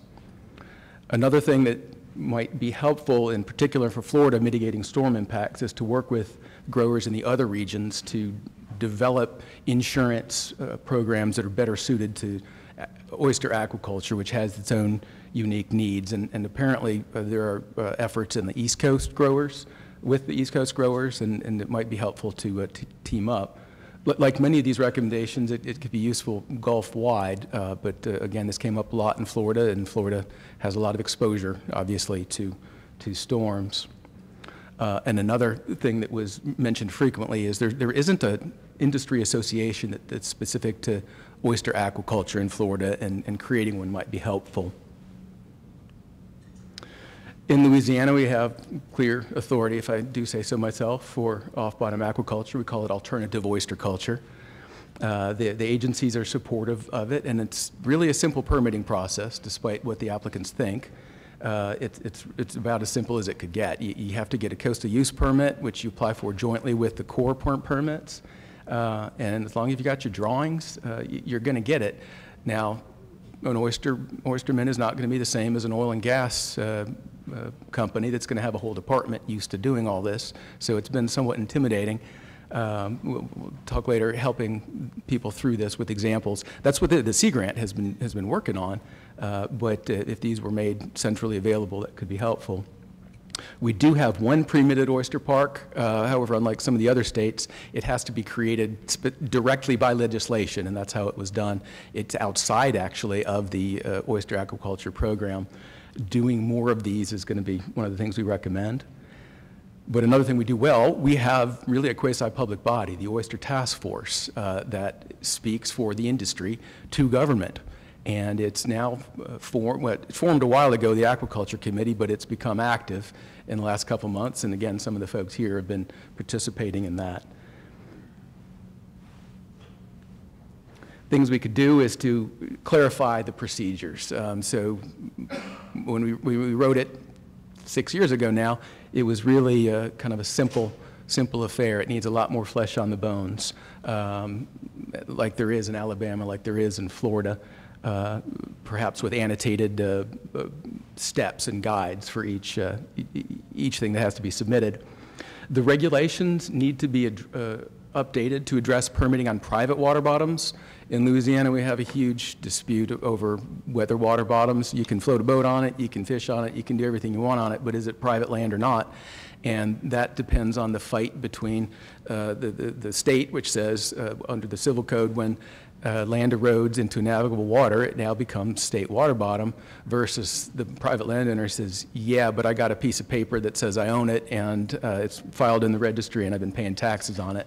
Um, so to kind of get around having to resolve that fight, uh, one of the things that was done was to allow oyster aquaculture for the first time on private bodies. Uh, when we first wrote the law, it was limited to state water bottoms.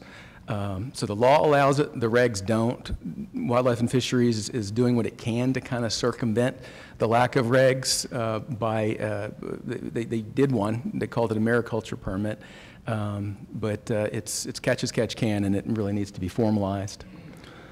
Another problem is oyster aquaculture is limited in Louisiana to where there is a pre-existing oyster lease granted to somebody, and there's 8,000 of them and 400,000 acres of that, uh, but there is a moratorium on, on new ones, and uh, there's, the coast is moving, uh, and so different areas are becoming better for uh, oyster culture over time, and there's, we're hoping to lift that moratorium. Al uh, and I have been working with many others uh, to try and get that, get that raised.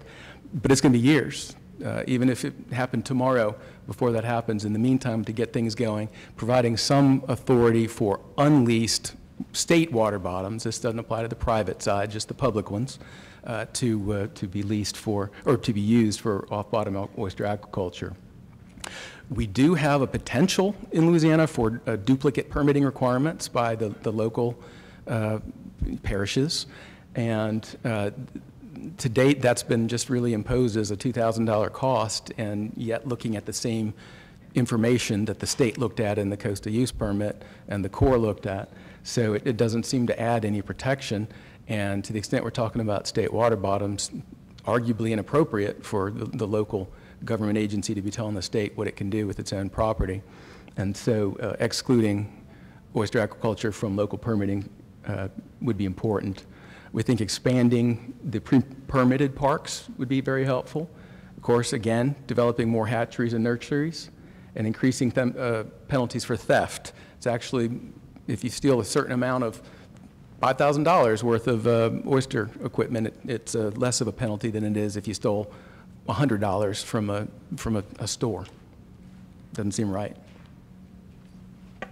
Mississippi, we're just getting started. Um, and the, uh, the state's actively supporting it. There's a Governor's Oyster Council behind that. There is a, uh, a, a training park uh, that's going to enable pre-permitted oyster, uh, oyster farms in the future. They're in the process of streamlining state reviews, uh, including combining those two first uh, steps, the lease and permit approvals. There's a problem with lack of areas that are good for oyster aquaculture, though, and of course, lots of uncertainties all along, all around. So recommendations include identifying areas that are suitable for that. As the regulations are implemented, uh, to provide a, a comprehensive one-stop shop for information, uh, improve the federal side of the permitting efficiencies.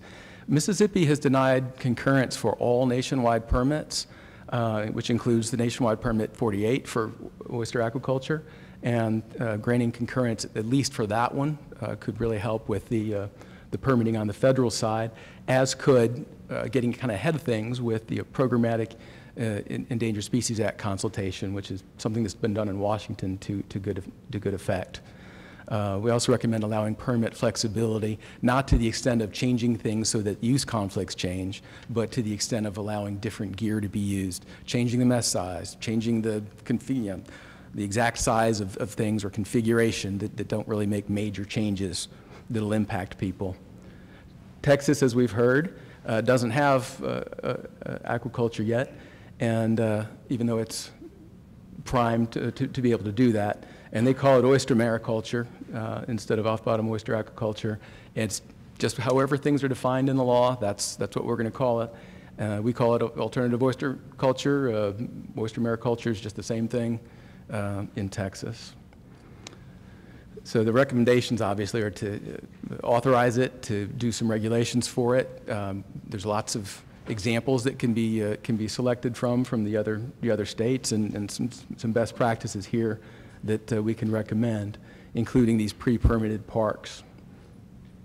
And uh, uh one-stop shop for information for applicants is going to be important.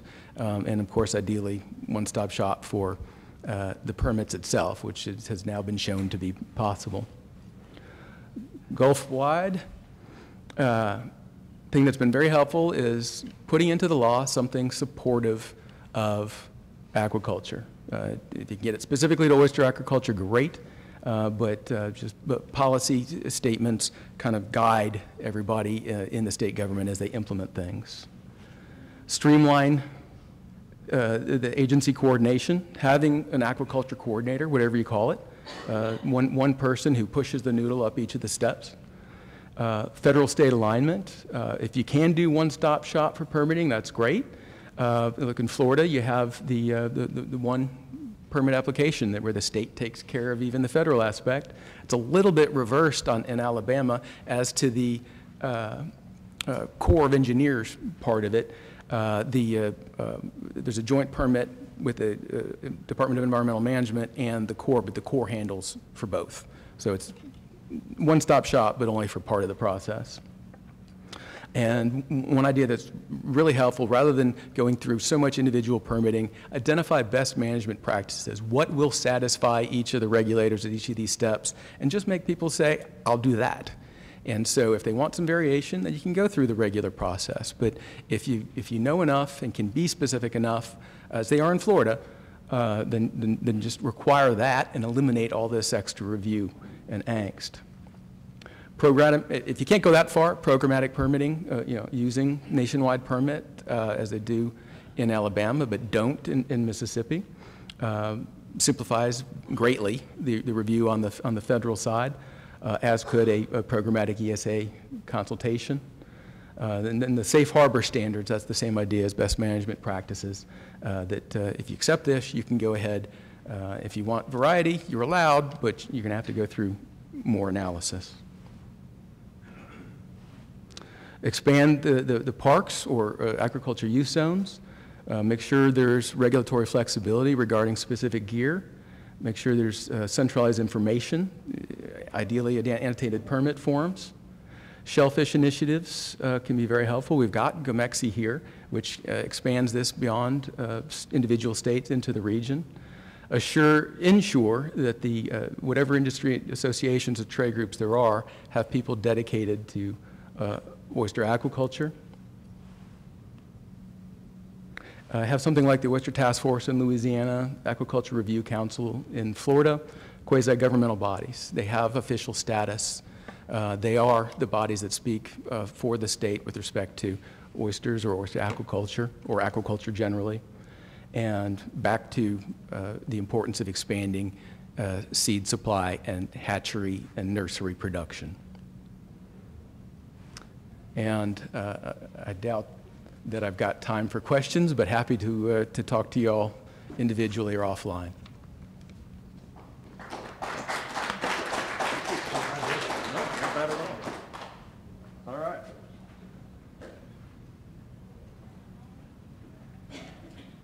Ask all the questions you want in about an hour. Uh, Dale Diaz is presenting for uh, Jason Ryder, who couldn't be here. So uh, Dale, have have it. Thank you, Steve. Uh, As Steve said, my name's Dale Diaz. I'm a shellfish specialist, and I'm working with Mississippi Department of Marine Resources. Um, Jason has a new addition to his family. Uh, He does send his regret- regrets, and I'm glad to fill in for him today. Um, Before we get into the details of a project, uh, I would like to discuss the current state of the oyster industry and why we believe aquaculture is beneficial for the state of Mississippi.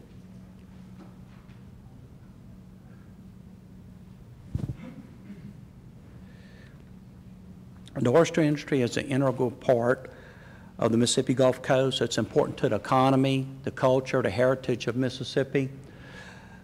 Um, But the wild reefs in Mississippi are in a state of decline. If you can see on this chart over here to the left, that before Hurricane Katrina in the 2003, 2004 time frame, the wild reefs were producing, in some years, in excess of 400,000 sacks.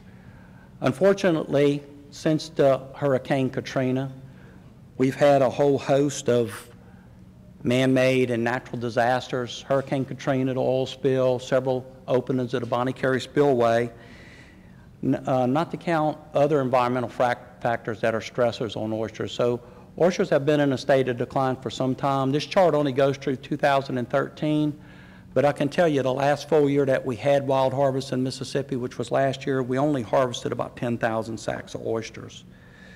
So we believe um, off-bottom oyster aquaculture is one way to help increase oyster production in the state of Mississippi. It's just one piece of the puzzle. It's not going to save the oyster industry or bring our production up to where we want to bring it up to, but it is one piece of the puzzle that can help increase our production.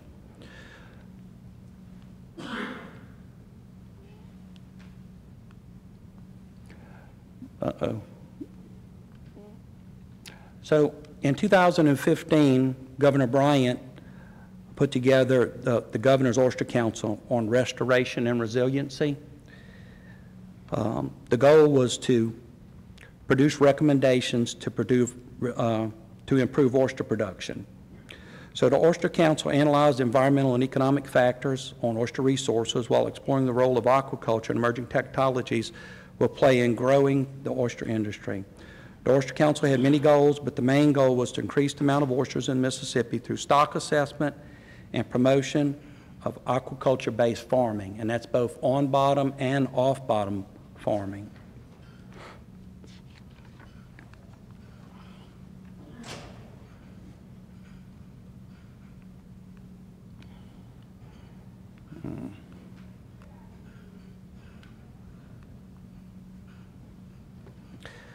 So one way MDMR is trying to boost production is by training individuals on the basics of starting an off-bottom oyster aquaculture farm.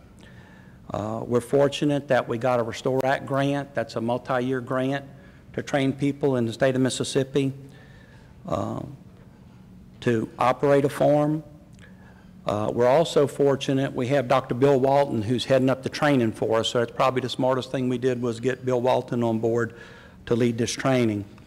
So we bring people in, they have about five classes where they work in the classroom, and we talk about oyster biology, different equipment, what's going on in other states, regulations, seafood safety, all those type of things. And then after the five classes, the, the farmers, we loan them some gear, we give them some seed, and we put them out in the field and they grow those seed out for eight to 10 months. While they're growing those seed, they have to develop an operational plan, a business plan, and a storm plan. And they learn a lot while they're actually doing this. It's hands-on, and they get idea exactly how much work it is. So this uh, illustrations up here show where we're located. So this is a seafood park that we developed off the coast of Biloxi and Ocean Springs. This is Deer Island, which is just south of Biloxi and Ocean Springs. So altogether, this is about 85 acres, but only about 50 acres is usable for lease.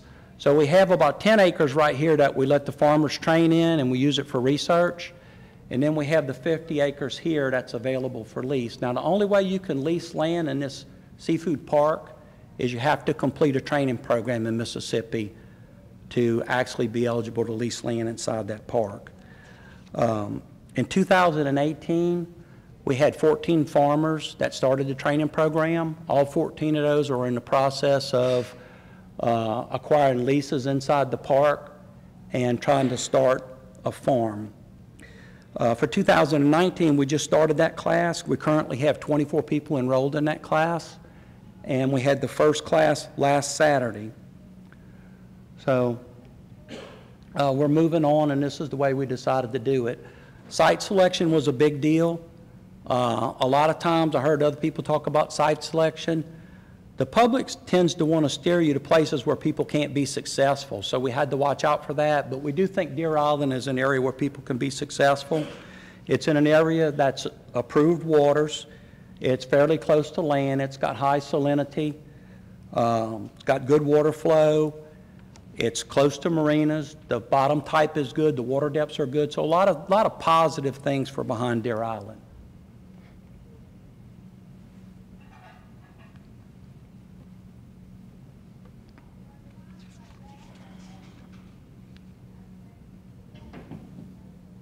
There we go. Uh, So our project is the creation of a mobile, single-set grow-out system for the eastern oyster. Uh, Despite all the stuff I just mentioned to you, um, investment and interest so far, there is no commercial facility in Mississippi that is setting single oysters for commercial off-bottom aquaculture. You know, we're just getting started, we're new. Uh, With the increased demand in other states, there is substantial concern that Mississippi farmers may not be able to obtain adequate seed uh, for the facilities, from the facilities in other Gulf states. Um, Because of uh, production concerns, we wanted to create a mobile, single-set production grow-out system for the eastern oyster. So the ability to acquire and raise small oyster seed is important because it allows farmers the ability to receive seed sooner and grow them out to a larger size before being deployed on commercial farms. So the objective is to grow the largest and healthiest animals in the least amount of time at the least expense.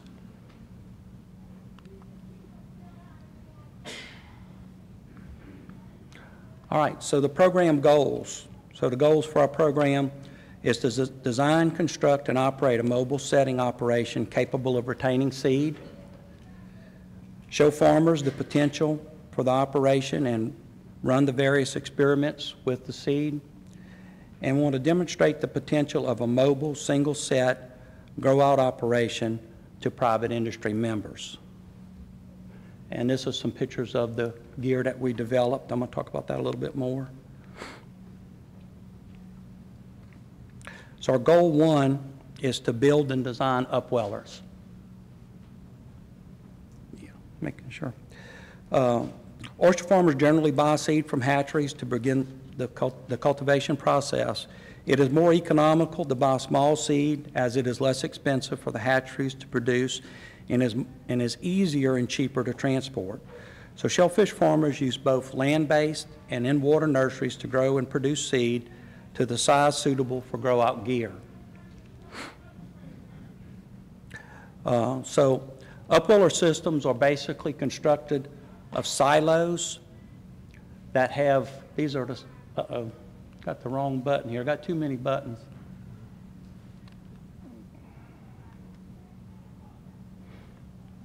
Here we go. These are the silos, and they have a small mesh screen attached to the bottom of them, and it has a rectangular tank and a trough down the middle of the tank.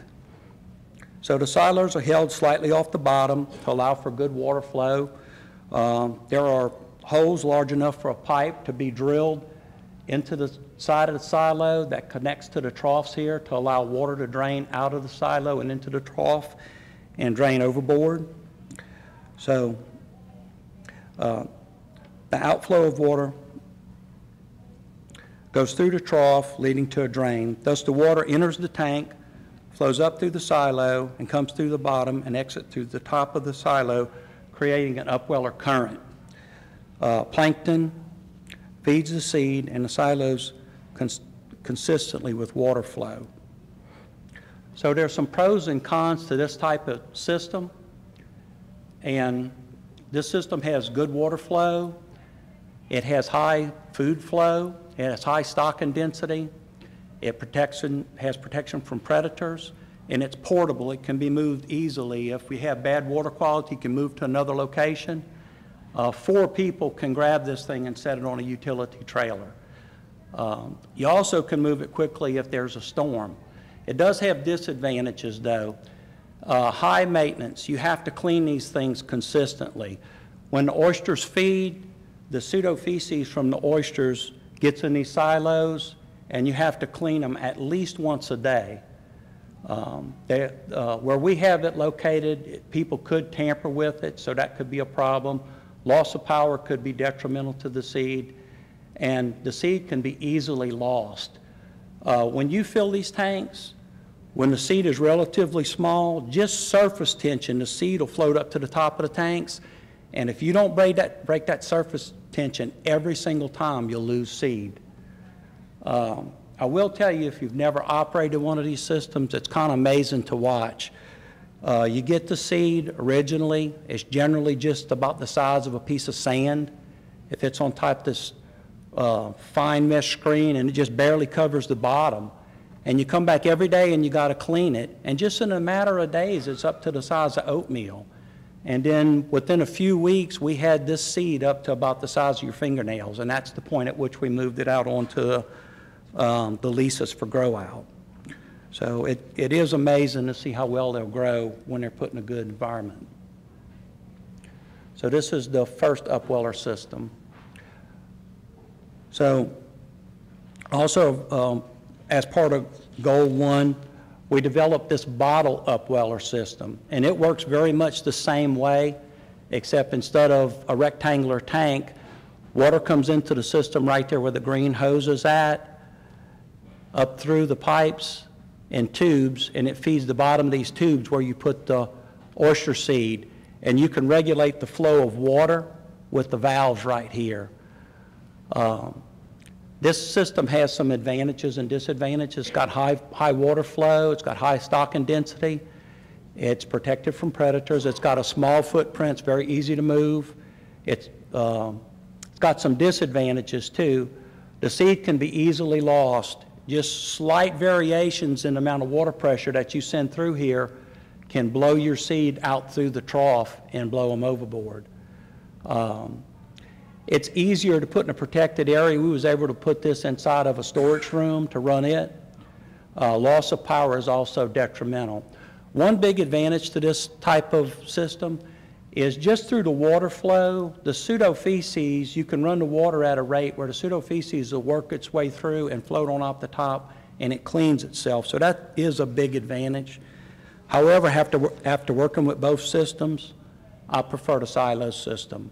I think uh, it seemed that the oysters grow a little faster, and the fact that you're in there dealing with them every day, it's easier to monitor what's going on with them.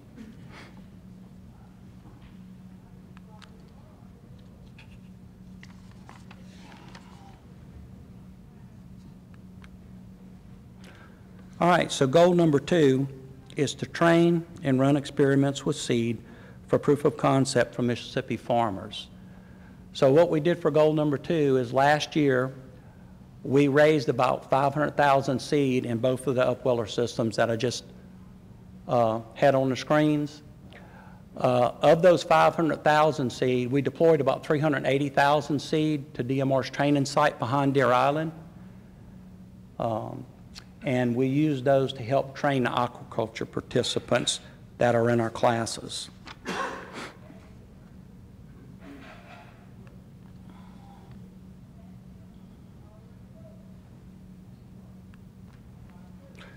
So goal number three is to demonstrate the operation to private industry members.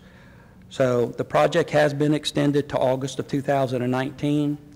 DMR will raise additional seed this year, and we're going to use it to train the 2018-19 off-bottom training participants on build-out of the system and operation of the system. And we're going to host uh, two training seminars with industry members this year.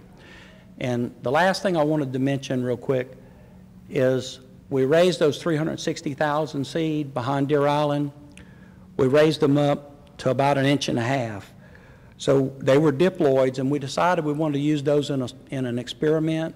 We wanted to see if we could use those single oysters for restoration purposes in Mississippi.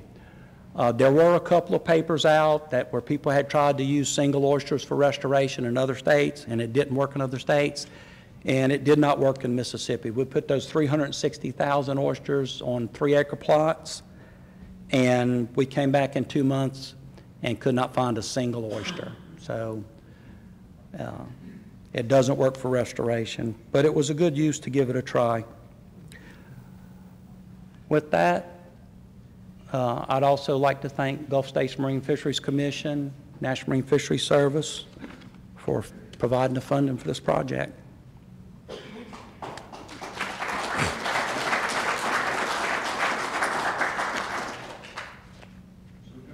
Questions, if anybody has any for, uh, for Dale?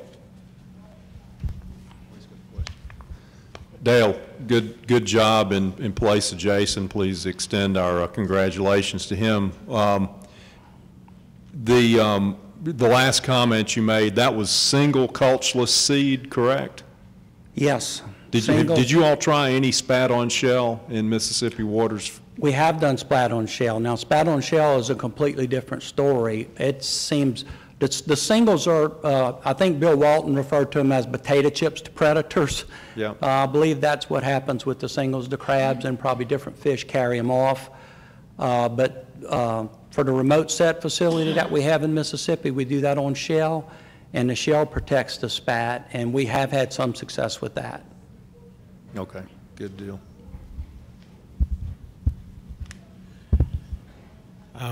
In reference to the, the cleaning, and you, and the difference between the silo and the bottle, what do you think is the main difference? What uh, uh, created the difference between maintaining or cleaning from the feces um, in your upwelling approach? The, the, the silos are harder to deal with because the screen is so fine and it gets clogged every day. If you come twice a day, you'll, you'll clean it twice a day. Uh, so that is a lot more difficult to deal with. But I like the silos better. You deal with them every day. You got your hands on them. And you, you can see, I mean, the first day you go there, it's just barely covering the bottom. You come back two days later, it's a quarter inch thick. A week later, you got an, an inch and a half of those same oysters have grown up in that tank, an inch and a half. And, you know, it just seemed like you're able to take better care of them. But it is harder to deal with and it's harder to clean. And it, it, I do think while we didn't check this, I think we got better growth rates out of the silos also. Okay. And that's just an observation. We did not have that as part of the experiment. Do you think you can change the uh, the dynamics of the, your silo to, to be able to mitigate some of those uh, problems that you had with cleaning instead of being a, and take something from what you do with the bottle method? I don't really have any good mechanisms to change the way we handle the silo Okay. at this time, but that is one of the things, I'm going to give Beth Walton's group a plug. I've been to Oyster South Symposium two years in a row, and if you're having a problem in this industry, somebody else has had that problem, and oyster farmers tend to be very willing to help each other. And both years I've went to their symposium, I've come away just learning all types of things and new good ideas for the state of Mississippi. And I'm sure people that are dealing with these silos have done things to improve them. So, sure. I do not know it off the top of my head. I can get that and let you know, though. So I'll let you know. Thank you, Steve. Thank you, Dale.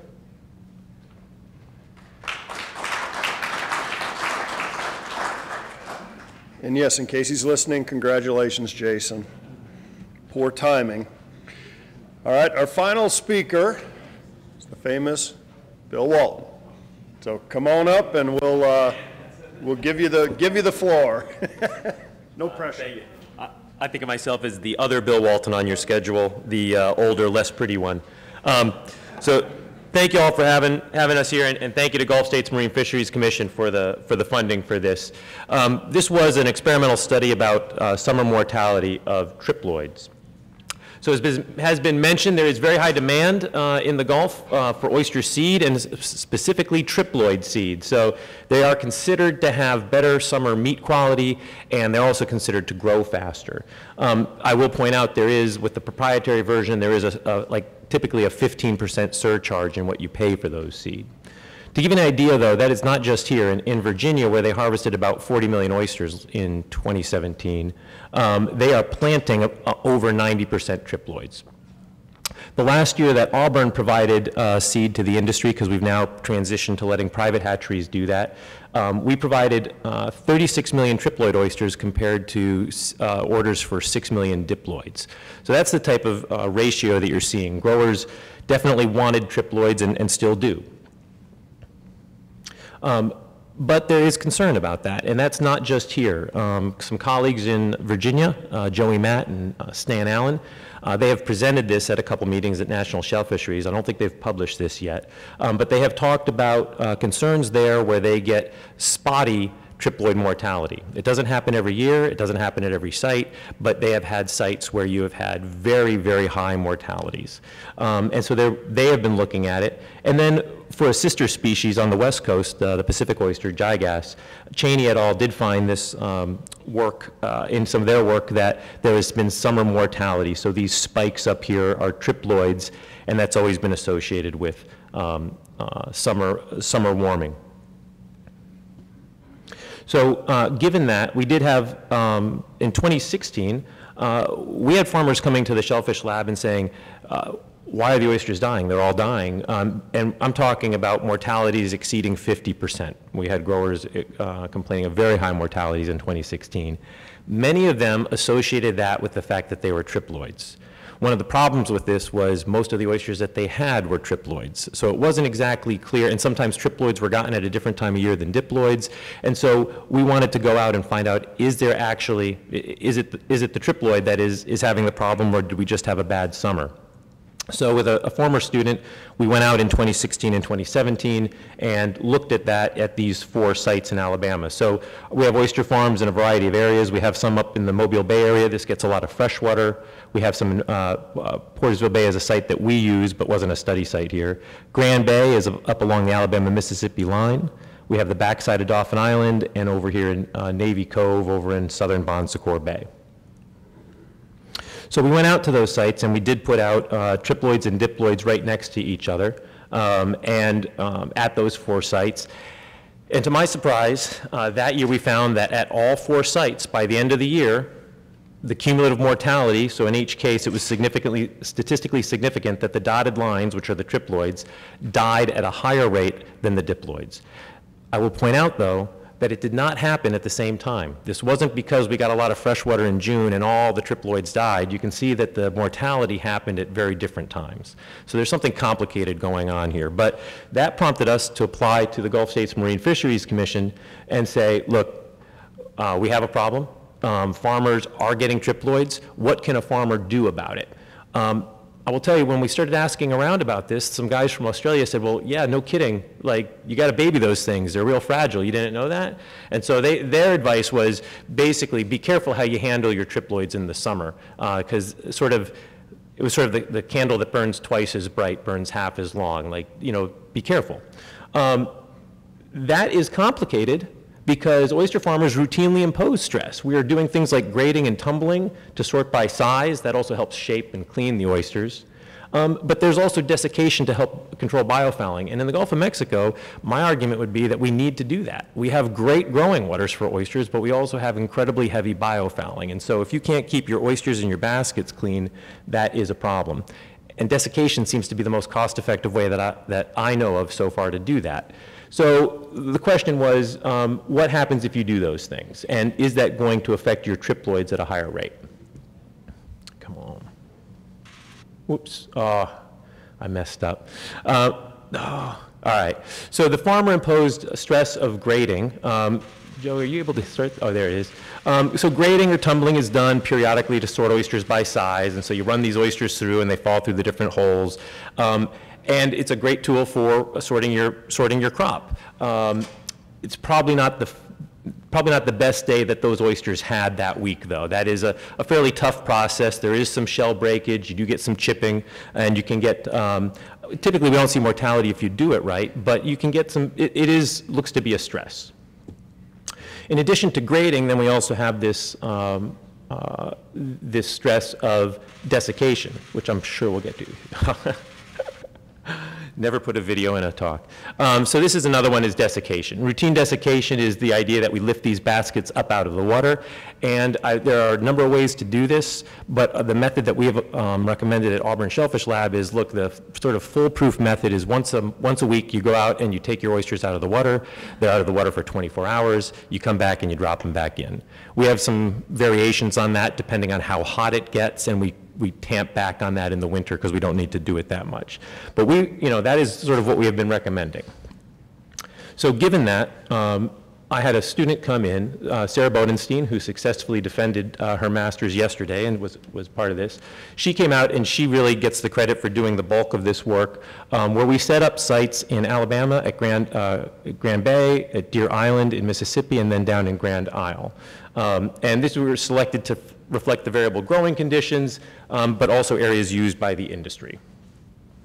So the experiment started in April. We took fairly large oysters. These were oysters that were about 60 millimeters. We had seven cages per site. We have six bags per cage. And we put three triploids and three diploid bags in each. And we arranged those in an alternating pattern to try to make it fair. And we kept the densities really low. We only put 75 oysters per bag.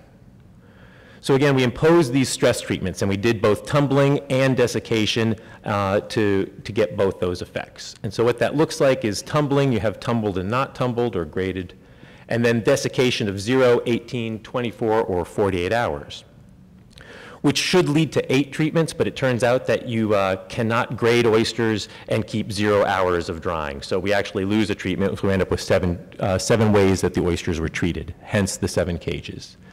So when you look at across all the sites, I just want to show you that um, this is uh, growth, and I just want to show you that uh, this is at zero hours, and then you see 18, 24, and 48.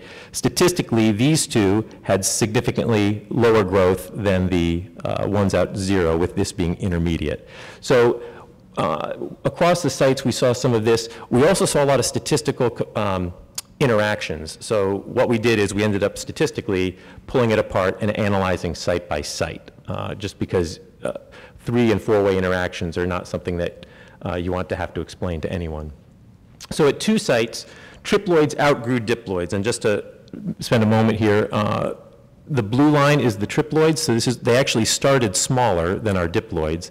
And as you see, um, the, by the end, they were bigger. And so you're really looking at the rate of change here. And in both cases, even though these ended up at the same size, the triploids started smaller. So at both these sites, in Mississippi and Louisiana, the triploids outgrew the diploids, which is sort of what we would expect.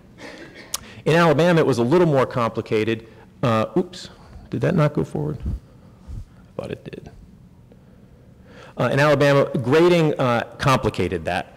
So here's what happened. If you look at the red lines, they grew pretty much at the same rate. It didn't matter if those diploids were tumbled or not.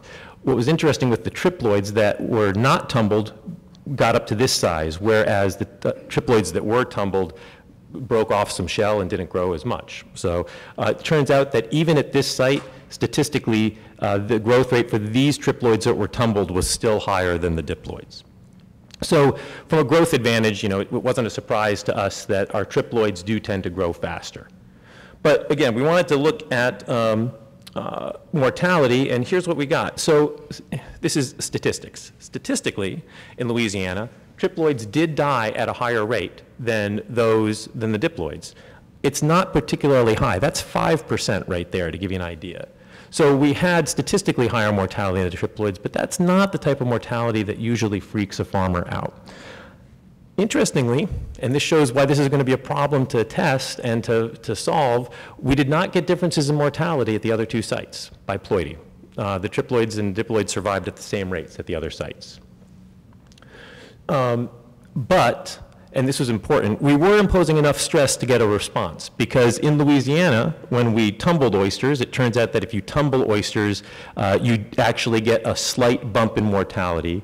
And if you dry oysters 48 hours, it turns out that you get a bump in mortality, which just means to me that in the experiment, we were imposing enough stress to get a, a mortality response from those oysters.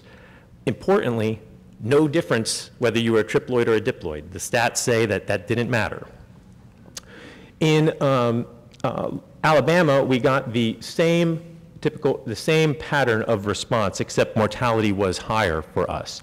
So again, there's a tumbling cost. If you tumbled, your oysters died at a higher rate. And if you dried 48 hours, you can see this big jump in mortality. And that, you're talking 60, 70%. There was a very high cost uh, in Alabama. But again, no effect of ploidy. In Mississippi, again, ploidy didn't, it didn't, wasn't an issue here. Um, and what we see is here you start to see an additive effect. If you had oysters that you dried for 24 hours and didn't tumble, this was their mortality rate. It jumps up when you add in tumbling. Uh, similarly, at 48 hours, you can see that you get slightly higher mortality if you don't tumble, but when you add tumbling, it jumps up. So in both cases, the, there was sort of a, uh, an additive uh, cost there. But really, um, what we found from that was, to, sort of to our surprise, is that uh, triploids did have that growth advantage. Um, it, that was affected by grading. But, uh, and desiccation stress of 48 hours reduced growth rates regardless of ploidy. So that doesn't matter if you're going trips or dips, it's, it's going to do the same thing to you. But really, um, from a mortality point of view, um, the, this was, for me, surprising, was that we didn't see um, an effect of triploidy. So those triploids, at only one site did we see that the triploids died at a higher rate this past year in, in 2018. And in the other ones, there was no interaction with stress. So the two things that we tested that farmers do, turns out that that didn't, that didn't lead to higher mortality. Um, so at each of the three sites, the, the, we know that the stress could kill oysters, but it didn't matter if you were trips or dips. And so you can get into some finer points here about grading and desiccation um, and this additive effect at Mississippi. Um, but what I want to end with on that, which I think is probably my last slide, is our recommendations to farmers in terms of triploids is you certainly need to be careful of this because they do seem to be more sensitive under some circumstances. But under the conditions that we tested, the triploids were not more vulnerable uh, to what the farmers were doing there do seem to be differences caused by the environment, and we would love to get at that. I don't think that's a simple answer. I don't think that's going to be just putting out a salinity gauge and finding out that low salinity kills those oysters. I, I think it's probably multiple stresses. I think it could be low DO, I think it could be salinity, and obviously some temperature stress. Um, but we haven't found a simple answer to that yet. Um, but we were relieved to say to farmers that there are some recommendations we would give and how much stress you impose on your oysters in the summer. Um, but that uh, typically, um, you, under these conditions, that the trips uh, were not more vulnerable than the dips. And so with that, I can uh, take any questions, or we can go right to the question section if you want. See-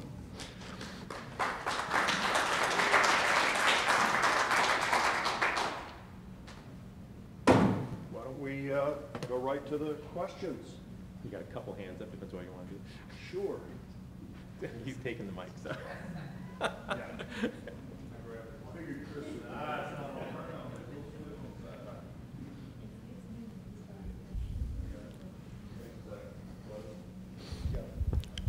Hello? There it is.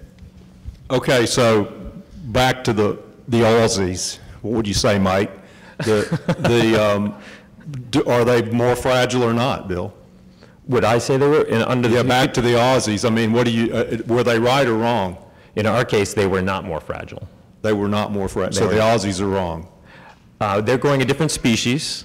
Okay, Um, that's So true. I don't know that they're wrong, but their advice did not apply to us under these conditions. Ah. My caveat is, I think that because triploids may be more stressed by some of the environmental factors going on behind them, that if we had a year that was environmentally stressful to an oyster, that suddenly you might see more of that. But we only had one site this year where we studied it, we only had one site where triploids died at a higher rate.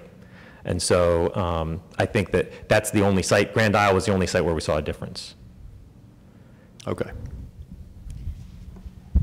I can, I can follow his question. Have you thinking about that uh, for your experiment? Have you thinking about the genetic background for the triploid and the uh, triploid and the diploid? Do you use because of the father must be different? Do you do the experiment? The mother is the same, Yes. and also for the the heavily and uh, uh, mortality in the summer. And uh, have you any uh, analysis about there's what kind of tetraploid sperm they used, or the, how many diploid they use, how many tetraploids they use? That's a lot of questions genetically. Sure. And I can check those. We definitely used, they were half siblings, and so they were, they were from the same, uh, same mothers.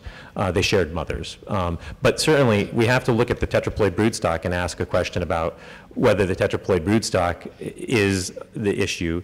And so that's, I know one of the things that Stan Allen has looked at is trying to like test that to look at how much of it is a- is a genetic component. Yeah, that's what uh, you would say, you know, tetraploids, when you build it up, that's, uh, it's the beginning, is not the ending, because tetraploid itself still continuously, Right. you want to build up a strong breeding, um, per, but not breeding programs or breeding stocks Yeah. with, uh, with uh, diversified genetic background. Thank you. Hey, Bill, John Scarpa. Um, So 35 years ago, Shatkin's paper, right, check our our earliest work, triploids don't do as well in poor environments. Right. So I don't think we're actually seeing anything new, you know, we're worried about all this other stuff, it's triploids. So I think, you know, your, your idea, yeah, it's totally environmental, as well as farmers. Right. We all know farmer effect, you know. I'm not going out today, it's raining, so it's 48 hours of desiccation, they don't tell you that. Right. Right. Right. But, you know, triploids, way back when it first started, its main said they have problems in, in poor environments. So, you know, we have to consider that without even thinking about anything else. It's just basic. So John Bell again. Um, So these are all horticulture, right? So Yes. selling these by the piece, right? Yes. So growth is nice. Right. But mortality is going to be what's really important. You can't, you can sell a bigger one and make, that's nice, and, or grows faster, whatever that is, but if it's dead, you can't sell it. Right. So, You only make money harvesting oysters, not growing oysters. I would agree. so the mortality is really the important part. Right? I- It's- That's just the thinking, I'm putting those two I think it's both. I mean, you, Okay. you need them to grow faster because that reduces your costs, but, uh, well, you'd like them to grow faster, that reduces your costs. But I agree, you need, you definitely need survival of the oysters. I will say, I, I know Chris has a question, but um, one of the industry issues in Virginia has been that growers worry about this a lot when there's a year with a high mortality. And then because it's a, it's a flashy problem, it's a problem that comes and goes, when it's not a problem anymore, they stop caring about it. And so it's, this is a very sporadic problem, and so it's hard to get a handle on. So it looked like the 24-hour desiccation and the tumbling mm-hmm. had a big impact on mortality At no matter what. At one site, yeah. So have, is that information y'all have provided to the, to the growers that, that that appears to cause a lot more mortality? We, we did present this, at- we did, we presented at Oyster South, and we presented it at the recent meeting in aquaculture, and we'll put that out into some recommendations to growers. So we will try to turn this into something that uh, we can get out to growers in a, whether- I don't know if handouts are the way to go anymore, or if it's something on their phone, but we'll get, we certainly will share that information. I agree.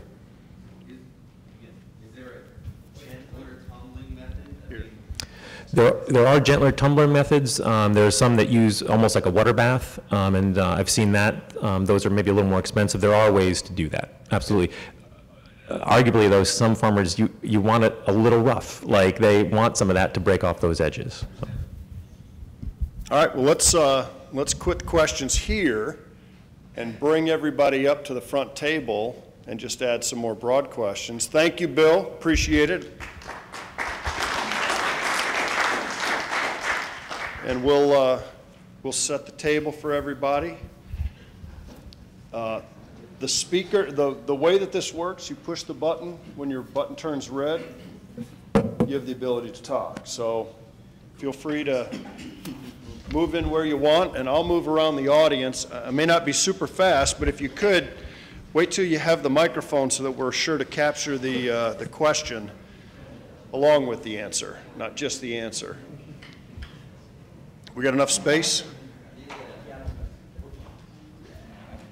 Oh, okay. All right. So I'm going to give the prerogative to our executive director for the first question. Steve.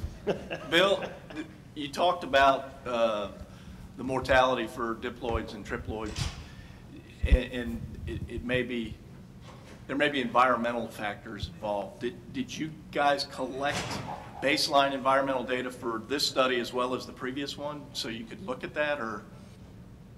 Uh, That is a great question. We found, um, we did not have, I don't have the money in the lab for continuous data loggers, um, and so uh, we don't have that complete continuous record. We have spot samples, and so we do have that environmental data, and and uh, Sarah, she goes by Squid, my student, has that in her thesis, um, but um, we'll probably be using proxies for some of the monitor, some of the gauges that are around, closest that we can get. So Chad Hansen with the Pew Charitable Trust. Thank you all for the presentations today. I'm sorry I missed a couple of them. I had to step out for another conference call, but um, so I may have missed some of it. But I guess my question is sort of generalized, but it's similar to what I asked uh, um, Mr. Wynn earlier. But we're in, interested in like the ecosystem effects, ecological effects of uh, aquaculture, positive or negative, and quantifying that. And I'm just wondering what's the state of research in the Gulf through your projects or elsewhere on, and, and other project coming online that will be answer, addressing some of those questions, uh, nutrient loading and, and reduction, um, you know, habitat, all the different benefits that we say qualitatively that are ecosystem benefits. And I just want to know how much quantification of that is going on at these different sites in the Gulf. Thank you. I guess I'll answer that question. So, um, when you can quantify it, uh, and then all of a sudden, when you talk about legislative impact, um, it starts to get people's attention. Uh, red tide was a huge impact on the economy in the state of Florida last year, which is why we really want to focus on that. Uh, we've had, and I forget who had the dynamic up of uh, the way to improve the aquaculture environment in Florida, the lack of leases. Um, and that is because of the water quality. Some of that is water quality, some of that is um, some other mitigating factors, but we, we want to be able to address that. Um, so in Florida, I can talk about what we're doing. That's why we try to incorporate the entire um, realm of research, um, not only in training the student, but we also want to look at scientifically what are the advantages of improving the ecosystem um, to have more oyster estuaries. Uh, if you have more diploid seed going out, naturally you should be able to see the restoration of these oyster reefs that we used to have in Florida thousands of years ago, which kept red tide at bay.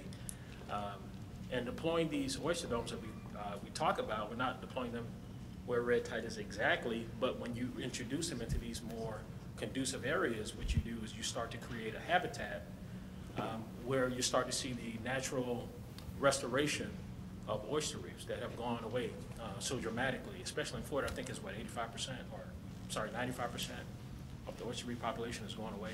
So when you start to reintroduce that, and that is a huge impact to us on the industry. Um, Has a huge impact when you talk about oyster aquaculture. I think uh, Louisiana had a dynamic up, or Mississippi had a dynamic up from Katrina. How has dramatically affected the industry? How's it going negatively down? We can say the same thing for Florida.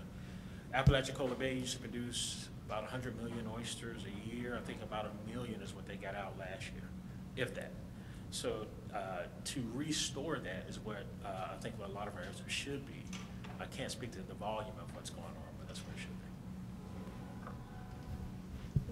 be. I would just add, you know, I think, um, I, because there's been so much research on that in other parts of the world and other parts of the country, I found that that's not a particularly fundable question.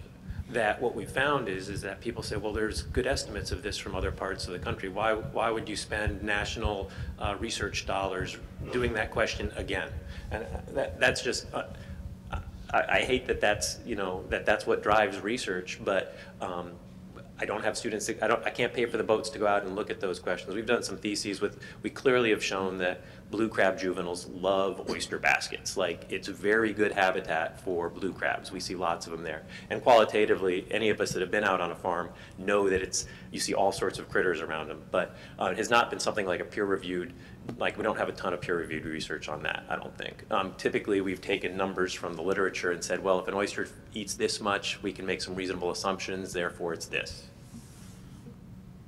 Well, following up the bills, you know, there is literature out there on, on, and usually it's more on the oyster reefs than on the, on the systems, although there are that, a few that do have the systems, as Bill just said, because unfortunately, you know, when the good material's out there already, it's kind of like, why are you going to do that again? Now, in Texas, we have a unique system because of the genetics, and so our agencies are real concerned about that movement across the major decline, but they're taking ultra-conservative and saying, look, even within each base system, we're, we're going to start off very slowly. Uh, and even that one where I know when I put in proposals to look at that basic effect of, okay, if I have an oyster system out there, what is the infiltration of the genetics onto the local population? You get varying responses, and if you don't get it across the board excellent, you're, you're toast, you know? Um, so some, you know, some people really want us to do it, others don't. The state's not coming up yet, but as we come closer to aquaculture, mariculture, it probably will be funded in some sort. Um, we have a little bit there. So it, it's an interesting part, and that restoration, we do, we use a lot of restoration science on this. And even there, you look at restoration science for genetics, and sometimes like, we don't see the signal. Um, you know, putting substrate out almost seems to be more unless you're truly larval limited, you know, then, then, then they have a place to settle.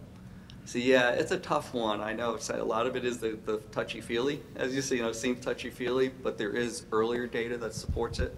Um, and I think, you know, Bill hit it on the head. They usually don't go back. Yeah, thanks for all that. Just a quick follow-up. Just in one of the plans and papers I've read recently, um, uh, place in Maryland, I forget the exact bay, but they used it, used the nutrient re removal as part of their mitigation plan for T, uh, total daily uh, maximum loading for nitrogen. Um, you know, that's per, per that bay in that system. I guess where I'm going is perhaps if that's a viable way to mitigate nutrient loading, could that, I would, I would imagine that you need to have specific base system application to that across the, across the regions and stuff, and perhaps aquaculture could be a way to remove some of that nitrogen for that, for those uh, loading. I'm just wondering if that's, you know, a, viable option or, or a potential area of research in the, in the, in the Gulf. Uh, uh, we think so. That's uh, where our focus is actually heading towards when we talk about water quality research. Um, we're partnering with FAMU in order can't speak. Uh, but we do think that we, you can revisit that part of it, uh, and that's what we look to go to in the future. So I'm going to follow up, of course, nutrient loading, um, and a lot of people say this, it really starts at point source. So it's good, controlling that instead of using something to control it. Uh, and I hear that quite a bit. In Texas, we're having an interesting part because in our previous year, the comments when I talked to uh, Texas Commission of Environmental Quality, right, which regulates our water quality standards. They actually looked at us and said, well, how much ammonia comes out of your oysters in the cages? What's nitrogen output? And we're sitting there going, well, what's the input of nitrogen first? You know, and, and, and the question coming from the regulatory aspect kind of threw us, you're gonna, you're gonna regulate us as if we're feeding them versus not feeding them. And yes, we change the nitrogen form, but we know we take out some because it goes to somatic, you know, we know it goes to somatic growth. So it's going to be an interesting time going forward for us regarding some of these water quality parameters. But the bigger question really is, most of us is, you you got, you got to do it at the point source, not use something else to take care of it. Uh, I've heard that quite a bit for the restoration. We still need the restoration science, we still need these things to get our ecosystems back for the general. But what's coming downstream, whatever, ninety-five percent of our water is already wastewater treatment, you know, if it's not there. So what comes into our, our coastal waters, it's everything upstream of us.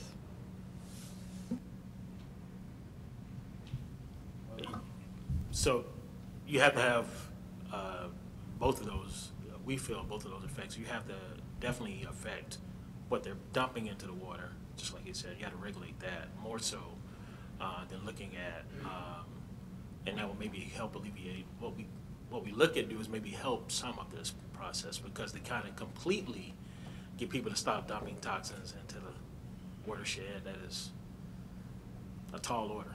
Um, to try to uh, regulate every company that's doing that as, but that's where the effort really needs to start.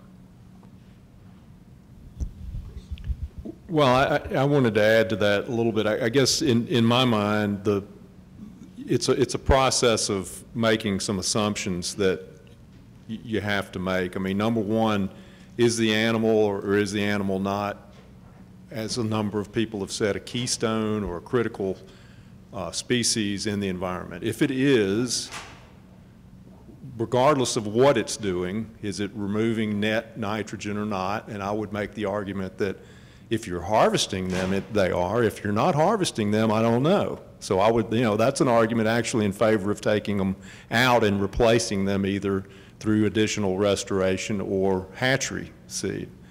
But, so if you make the assumption that it's providing some ecosystem services, then if you're putting animals into the system through aquaculture or restoration that's, that's being somehow grown, uh, as opposed to, say, restoration that's putting out culture material but is not actually catching any spat and producing any oysters, then that's a positive thing. And I think one of the frustrating things for the, for the industry that I'm in and I've represented uh, for a number of years is that that contribution of whether it's aquaculture on bottom or off bottom or whatever, that by growing oysters in areas that wouldn't otherwise have oysters, to say that that's not contributing to ecosystem services or, and that that's not in, in some way or shape restoration flies in the face of just simple facts if you're willing to make the assumptions that I just said. I mean, is the animal important or not? If it's important and you're putting animals, more animals in the water that you'd have than under an un, un, undisturbed situation, then you've got to say that's a positive contribution. And is it, is it pure restoration? Probably not.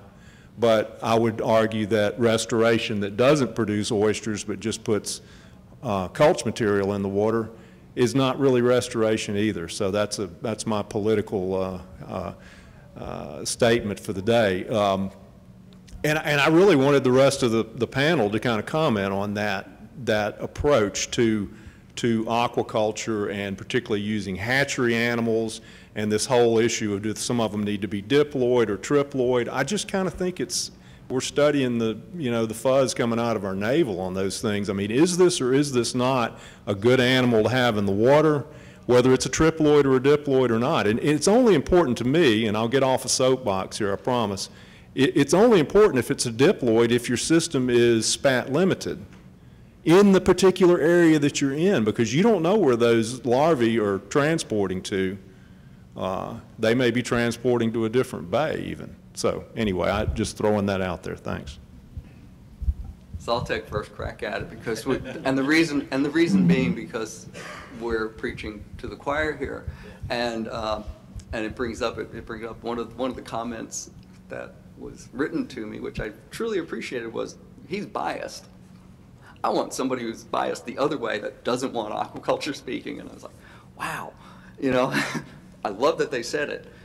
Yes, you know, I don't think there's anyone up here that would say, no, you know, we disagree with you, and it is, we're preaching to the choir on it. And it, it, uh, to me, a lot of times it is the education.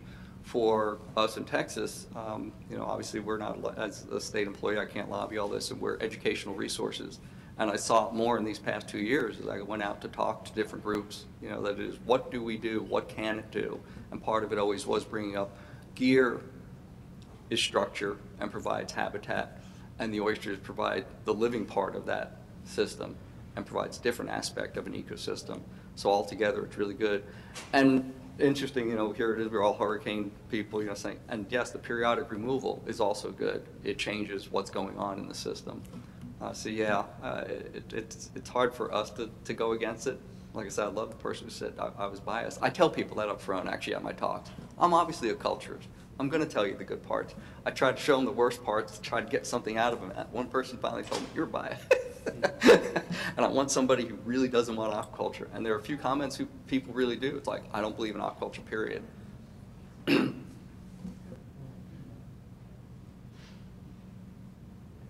Oh, Chris, uh, uh, just, just to respond to Chris, is like, I, I do think, um, I, I want to be clear that off-bottom moisture aquaculture, in my view, is only something we can add to what we do. And that we should be doing traditional restoration, and we definitely should be working on our natural resources on our bottom culture, whether that's a public reef or a private lease. That we need more oysters, one for the economy, two for the culture, our, our communities, and then three uh, for the environment. Uh, and not necessarily in that order. Everyone can prioritize those differently, but Chris, we've talked about it. Like in, in Alabama, Alabama is better off with more oysters in the water than less. We like I think we would agree on that. And I think you called it my oyster kumbaya. Uh, like I, I do think I, I think that off-bottom oyster aquaculture is not competition with the stuff coming off the bottom leases. And I think that all these things can happen in the same place and that we can produce those oysters and we can have those benefits. And I, again, I, I think we are better off if we have a sum total of more oysters. And off-bottom oyster aquaculture goes in some areas that I wouldn't put a lease, that I wouldn't put a reef. Um, and restoration might go in some places I would never put an area, I would never invest money for a fisheries reef because it's just not that productive, but it might be a good long-term investment for restoration. So I'd like to see us spread those investments out.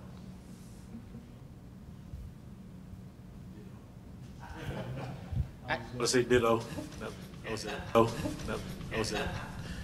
I agree with everything he, um, these two gentlemen have said. Um, obviously, they're the experts, um, but it is a keystone species, and so when you remove a keystone species, it has a dramatic effect on your on your ecosystem. So, and that has been argued, has been studied. Um, oysters uh, provide uh, enough uh, supply for 300 species, I think is what it is when you read NOAA. Um, so that alone increases the fishery, increases everything around this. When you talk about crabs, we've seen that on our site just by pure observation. So it increases the fishery too as well. So it's better to have oysters than not to. I'm going to go back real fast to nitrogen, just because it is an important part. And I, and and we're talking Long Island Sound, right? Connecticut areas up there. The amount of nitrogen coming off the land is just phenomenal. And so Charles Yarish, you know, seaweed culture, go to, go even one less level down from us, plant culture. And if you sit there and look at the amount of nitrogen coming off and go, how much plant seaweed culture area we would need, it's just astronomical. And comes back to the point of point source beforehand. But so the other way of mitigating, you know, here it is, we're talking about one trophic level up of, oh, we'll take out the phytoplankton, it's getting back to plant-based, which really, you know, as you said, pull it out. Hey, we're, we're using that. Um, but, you know, Dr. Yarish and his stuff there with the integrated multitrophic or just seaweed culture that they're doing up in that area, it's going to take a lot. And so again, we really need to go back to the points and say, how do we care, take care of it not coming in first? Um, yeah, so talking about nitrogen and ecosystem services. Um, so I've been study. Um, so the thing is that there's a farm model that's going out. It's uh, NOAA's been working on it, trying to calibrate the model, and it's been successfully done, trying to quantify how much nitrogen sequestered uh, by aquaculture, oyster aquaculture in the Chesapeake and the Northeast. Yet it hasn't really been done in the Gulf of Mexico. So I've been I've been doing that for my dissertation for the past for the past three and a half years. So, um, trying to quantify it because our growth rates are much faster than the Northeast. So, um, so we're going to have that data pretty soon. Hopefully, defend this summer, and yeah, so we're working on it um, to try to see how much, to try to quantify exactly how much nitrogen is sequestered by um, the oyster farms per acre. Can you give some preliminary? I want to say it, but it's Let's up just, to him. let's, ju- let's just say it's good. Okay. It's good. I'll comment, don't do it per acre, do it per oyster. Because per, per acre doesn't mean anything to a lot of people. We're, we're doing um, per oyster and then the areas per acre or hectare or whatever. Yeah.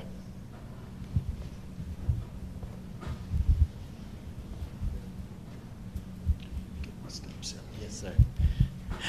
Thank you. I don't, I don't really have a question. It's more of a couple of comments. Uh, Mr. Marino's uh, presentation about in, in Alabama. We have implemented a system in Alabama where you can uh, lease those water bottoms, both from our Forever Wild program and from the state of Alabama, uh, to be able to uh, to do the off-bottom aquaculture. We have a procedure in place for that now. And then um, I did want to point out that the requirement for the marine archaeological information, that's not a state requirement, that's a Corps of Engineer Mobile office requirement, and that we have uh, worked with uh, the National Fish and Wildlife Foundation through our Mobile, Alabama, uh, Mobile Bay uh, NEP to do those archaeological surveys really all along our coastline in areas that would be uh, prime for any off-bottom aquaculture, so we've taken care of that element of the permitting process. Uh, th- Those are just been completed. Uh, that- That's really all, just a comment, just to to catch up where we are now. And that's, that's very good to hear. Also, that, uh, that marine archaeological uh, requirement was imposed by the Corps, but it was through the cultural people at the request of, like, the- I think it's the Alabama Historical Association, or, it was a state agency uh, that, that, that- that prompted it. Um, But I'm also glad to hear about the, uh, the leasing. Uh, I understood that there were still studies underway uh, to determine uh, the, the the prices that were going to be charged for that. Um, So it's, it's helpful that they've gotten to the point of actually being able to lease those areas.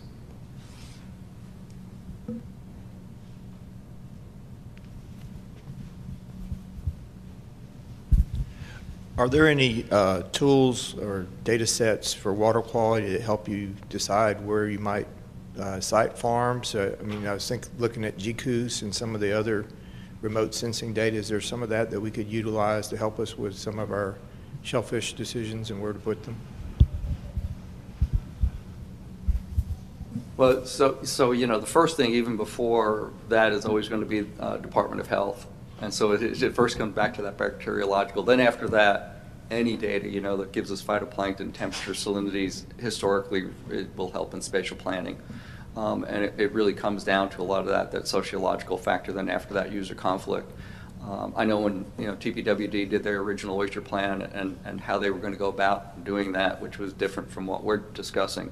Um, the GIS maps to overlay everything, including all the energy pipelines that are underneath every bay, you know, every oil, gas pipeline, everything that was there is kind of in place, but the next part really is the, that, for us, once it gets moving, is that spatial planning regarding environmental uh, details beyond the approved, unapproved waters. I think maybe Larry could, could speak to this, but um, I think it's nice to think about where my oysters would grow best and survive best, but I think functionally you have to choose an area that you are, can get a permit for first. And that, like, there's a siting tool, Chris, uh, in Alabama, uh, uh, Chris Blankenship actually, um, when he was with uh, MRD, helped lead up a website that helped us with the permitting process, and that includes a siting tool. And I'll tell you that the biology is a very small part of that siting tool. And that's what it should be. Like, you need to know, are you in an area that allows harvest? Are you in an area, like, there, uh, is it an area where you could get riparian rights? Is it, the, all the uh, functional, like, more, more of the stuff that Larry was talking about is what comes before the water quality. And I know that sounds crazy, but you have to start with a site that you could even get before you start worrying about how well it'll grow oysters. And then you, you pick a subset from there that'll grow oysters best.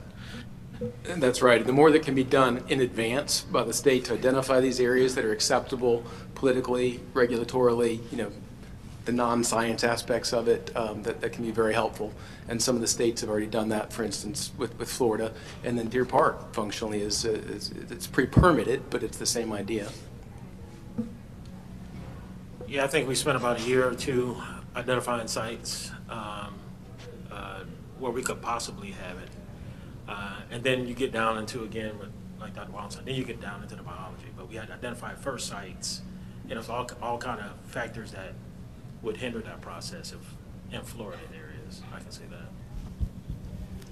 Thank you. I, I have a question for Beth. Um, I enjoyed the the, uh, the presentation and, of course, the way my cynical mind works.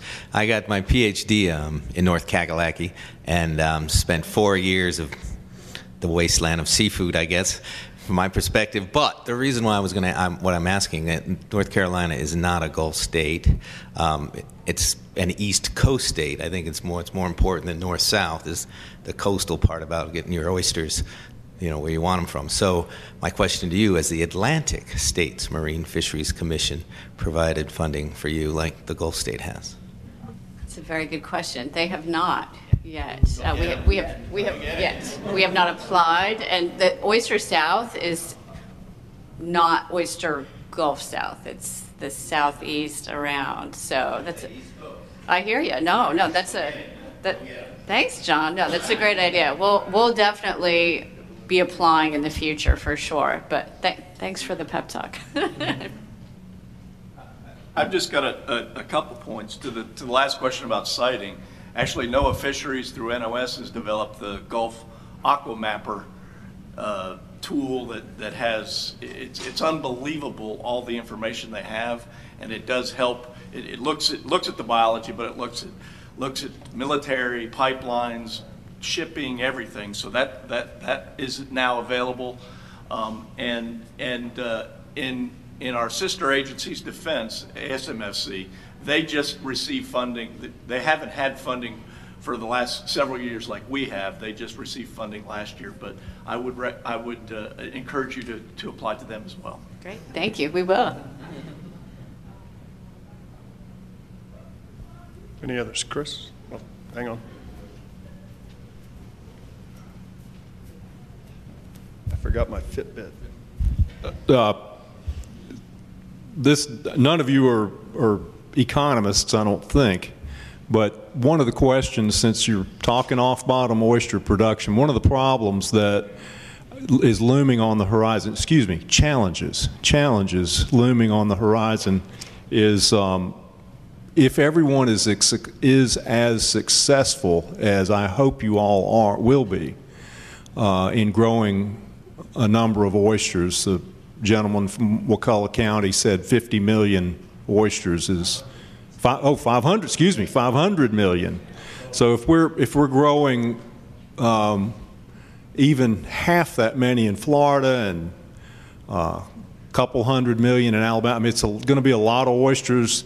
And given the fact that the wild harvest is at historical lows, um, which I think it's unwise to bet that it's going to stay at an historically low level forever, although it may be, it may never get back to where it was. Um, I, I'm, it's really more of a comment, but I'm also interested in your response. You know, what do you think we, are best next steps are to try to not have what happened in Cedar Key, for instance, when the industry kind of boomed and busted on clam aquaculture? Uh, I'd hate to see that happen, and I've expressed this sentiment before. I'm more in the business of selling them, so I want to help these guys sell them, but I do know that there are some limits to what the market will accept, particularly if it all happens very quickly. Uh, So I ho- I hope that you understand my question is, if we're, if we're successful, or we're able to, we're able to, uh, to handle the success. Okay, I'll take first crack at it, Chris. Um, And it's come down to all, all my, not economists, it comes down to my marketers, who've just said, hey, if you don't have a market, why are you doing it? It's kind of like, you know, you don't sell, so it's market demand. Salmon industry has done great, it's, you keep demand up, and that's been difficult. I, the Cedar Key one was particularly where asking for a self-tax to allow, you know, people sometimes, nope, we don't want to do that. So it all comes down to, to demand, to, uh, you know, and this is coming from the marketing people who look at the biologist. It's like, if you don't have a place to sell it, so yeah, we, I, I keep thinking about it too. Always going, okay, we, we can increase production, you gotta increase demand. So remember, an oyster on your bagel in the morning, forget that salmon. I'm just going to comment real quick on my non-economist background. Um, you know, the bottom has not fallen out. I look at Island Creek. I look at all the farms in the Northeast and the Pacific Northwest, and I think of it as like wines. And you know, we've talked about this before, Chris. I mean, microbrews, wines. It adds value to everything across the board, and I think people enjoy that. And it does come down to what John's saying. You know, we're all saying get the story out there. It's not just the product, it's the people behind the product. And that's what resonates. And that's what we're so passionate about with what we do with Oyster South. I mean, it involves everybody, it's not just one business. It's a unifying theme, which is the oyster, and it tells the story of the people and everybody's stories that go into it. So I think it's, yes, of course, selling your particular product, but then being focused on how it adds value to everybody else because that ultimately helps the individual. When you lift everybody up, it helps everybody else who contributes. Thanks. Chris, I just did want to mention to you that in the training program that we have in Mississippi, we do talk to the participants in the program, and we do talk about what your um, your, your concern is right now. So they're aware of it. They need to factor it in when they decide if they want to grow, start a business or not. And it's one of the risks that farmers have to keep in their mind, and it's something that they need to know in the future could potentially happen. So. Not only, you have to not only look at it locally, but you have to look at it globally. Uh, and so in that, you can have a huge impact. Uh, and you say the next step. Um, we're looking at a pasteurization process right now that, uh, has a live oyster um, after pasteurization. So uh, now all of a sudden you change who's eating it because some people are not able to eat it. And then that increases your customer base. So that's another step. Um, and I like what Dr. Walton just said uh, about it's the people too involved, that it's all involved with all the other businesses that come from it. Um, having a boutique oyster is what we kind of uh, promote in Wakulla County. And then having all the oyster breweries, the, oh, well, the, the breweries, the, yeah, I know, people say beer. So, um, you know, you kind of get everybody involved. When you look at the coast of France, and I think they have a town there uh, that has really been able to market the oyster in that town. That's what we kind of want in our area, in the Gulf, is what we want to be able to do. Um, so that kind So I, I think this is an important question to think about. Um, do we want, is off-bottom oyster farming in the Gulf going to be an industry that is a lot of small mom and pop farms that are growing boutique oysters? Um, or are we going to have some farms that get big and produce large, large numbers of oysters? And I think those are going to, they would be different models. Um, you know, if, if farmers in Wakulla County alone are producing 500 million oysters, uh, I mean, we're not growing 500 million oysters in the U.S. I think on the East Coast and the West Coast right now, I'd, I'd be impressed if it added up to that. So that kind of number would change the business. And um, I don't. I wish I could say like, well, we'll just open up more distribution channels and, and more raw bars will open, but that's an incredibly large number. Um, and so I think we do need to think about what we're trying to achieve. And there may be different business models. And you know, I'm most comfortable with the the the model we saw in New England and some of the West Coast farms is producing this boutique oyster, and you have a brand, and you're protected against. Next year, I hope Louisiana has the best damn year it's ever had in terms of producing oysters, and they'll still buy those boutique oysters because they were they weren't buying those boutique oysters because they were low cost. They were buying it because they had a name and they wanted it, so they'll still buy them. If you're a farm that's producing 5 million oysters a year, 10 million oysters a year, and your model is to drive down, you're, you're driving down the price so that it's a lower cost option, nature can produce a lower cost oyster than you. I'm sure of it, right? Not you, Chris, but anyone, you know, and, and uh, so I think you have to think about that. Um, I hope that our fisheries and our bottom leases aren't done. So um, I'm hesitant to recommend somebody go start a farm to produce an oyster that they can harvest and sell for 25 cents um, because I don't know that that's a safe business model if we have a great year coming out of Texas or Louisiana. Um, but I think we have to think about it. I, I've been impressed since moving to the Gulf and making it home with Beth, the, the ambition here to grow a business big and take it past just being a mom and pop farm is amazing.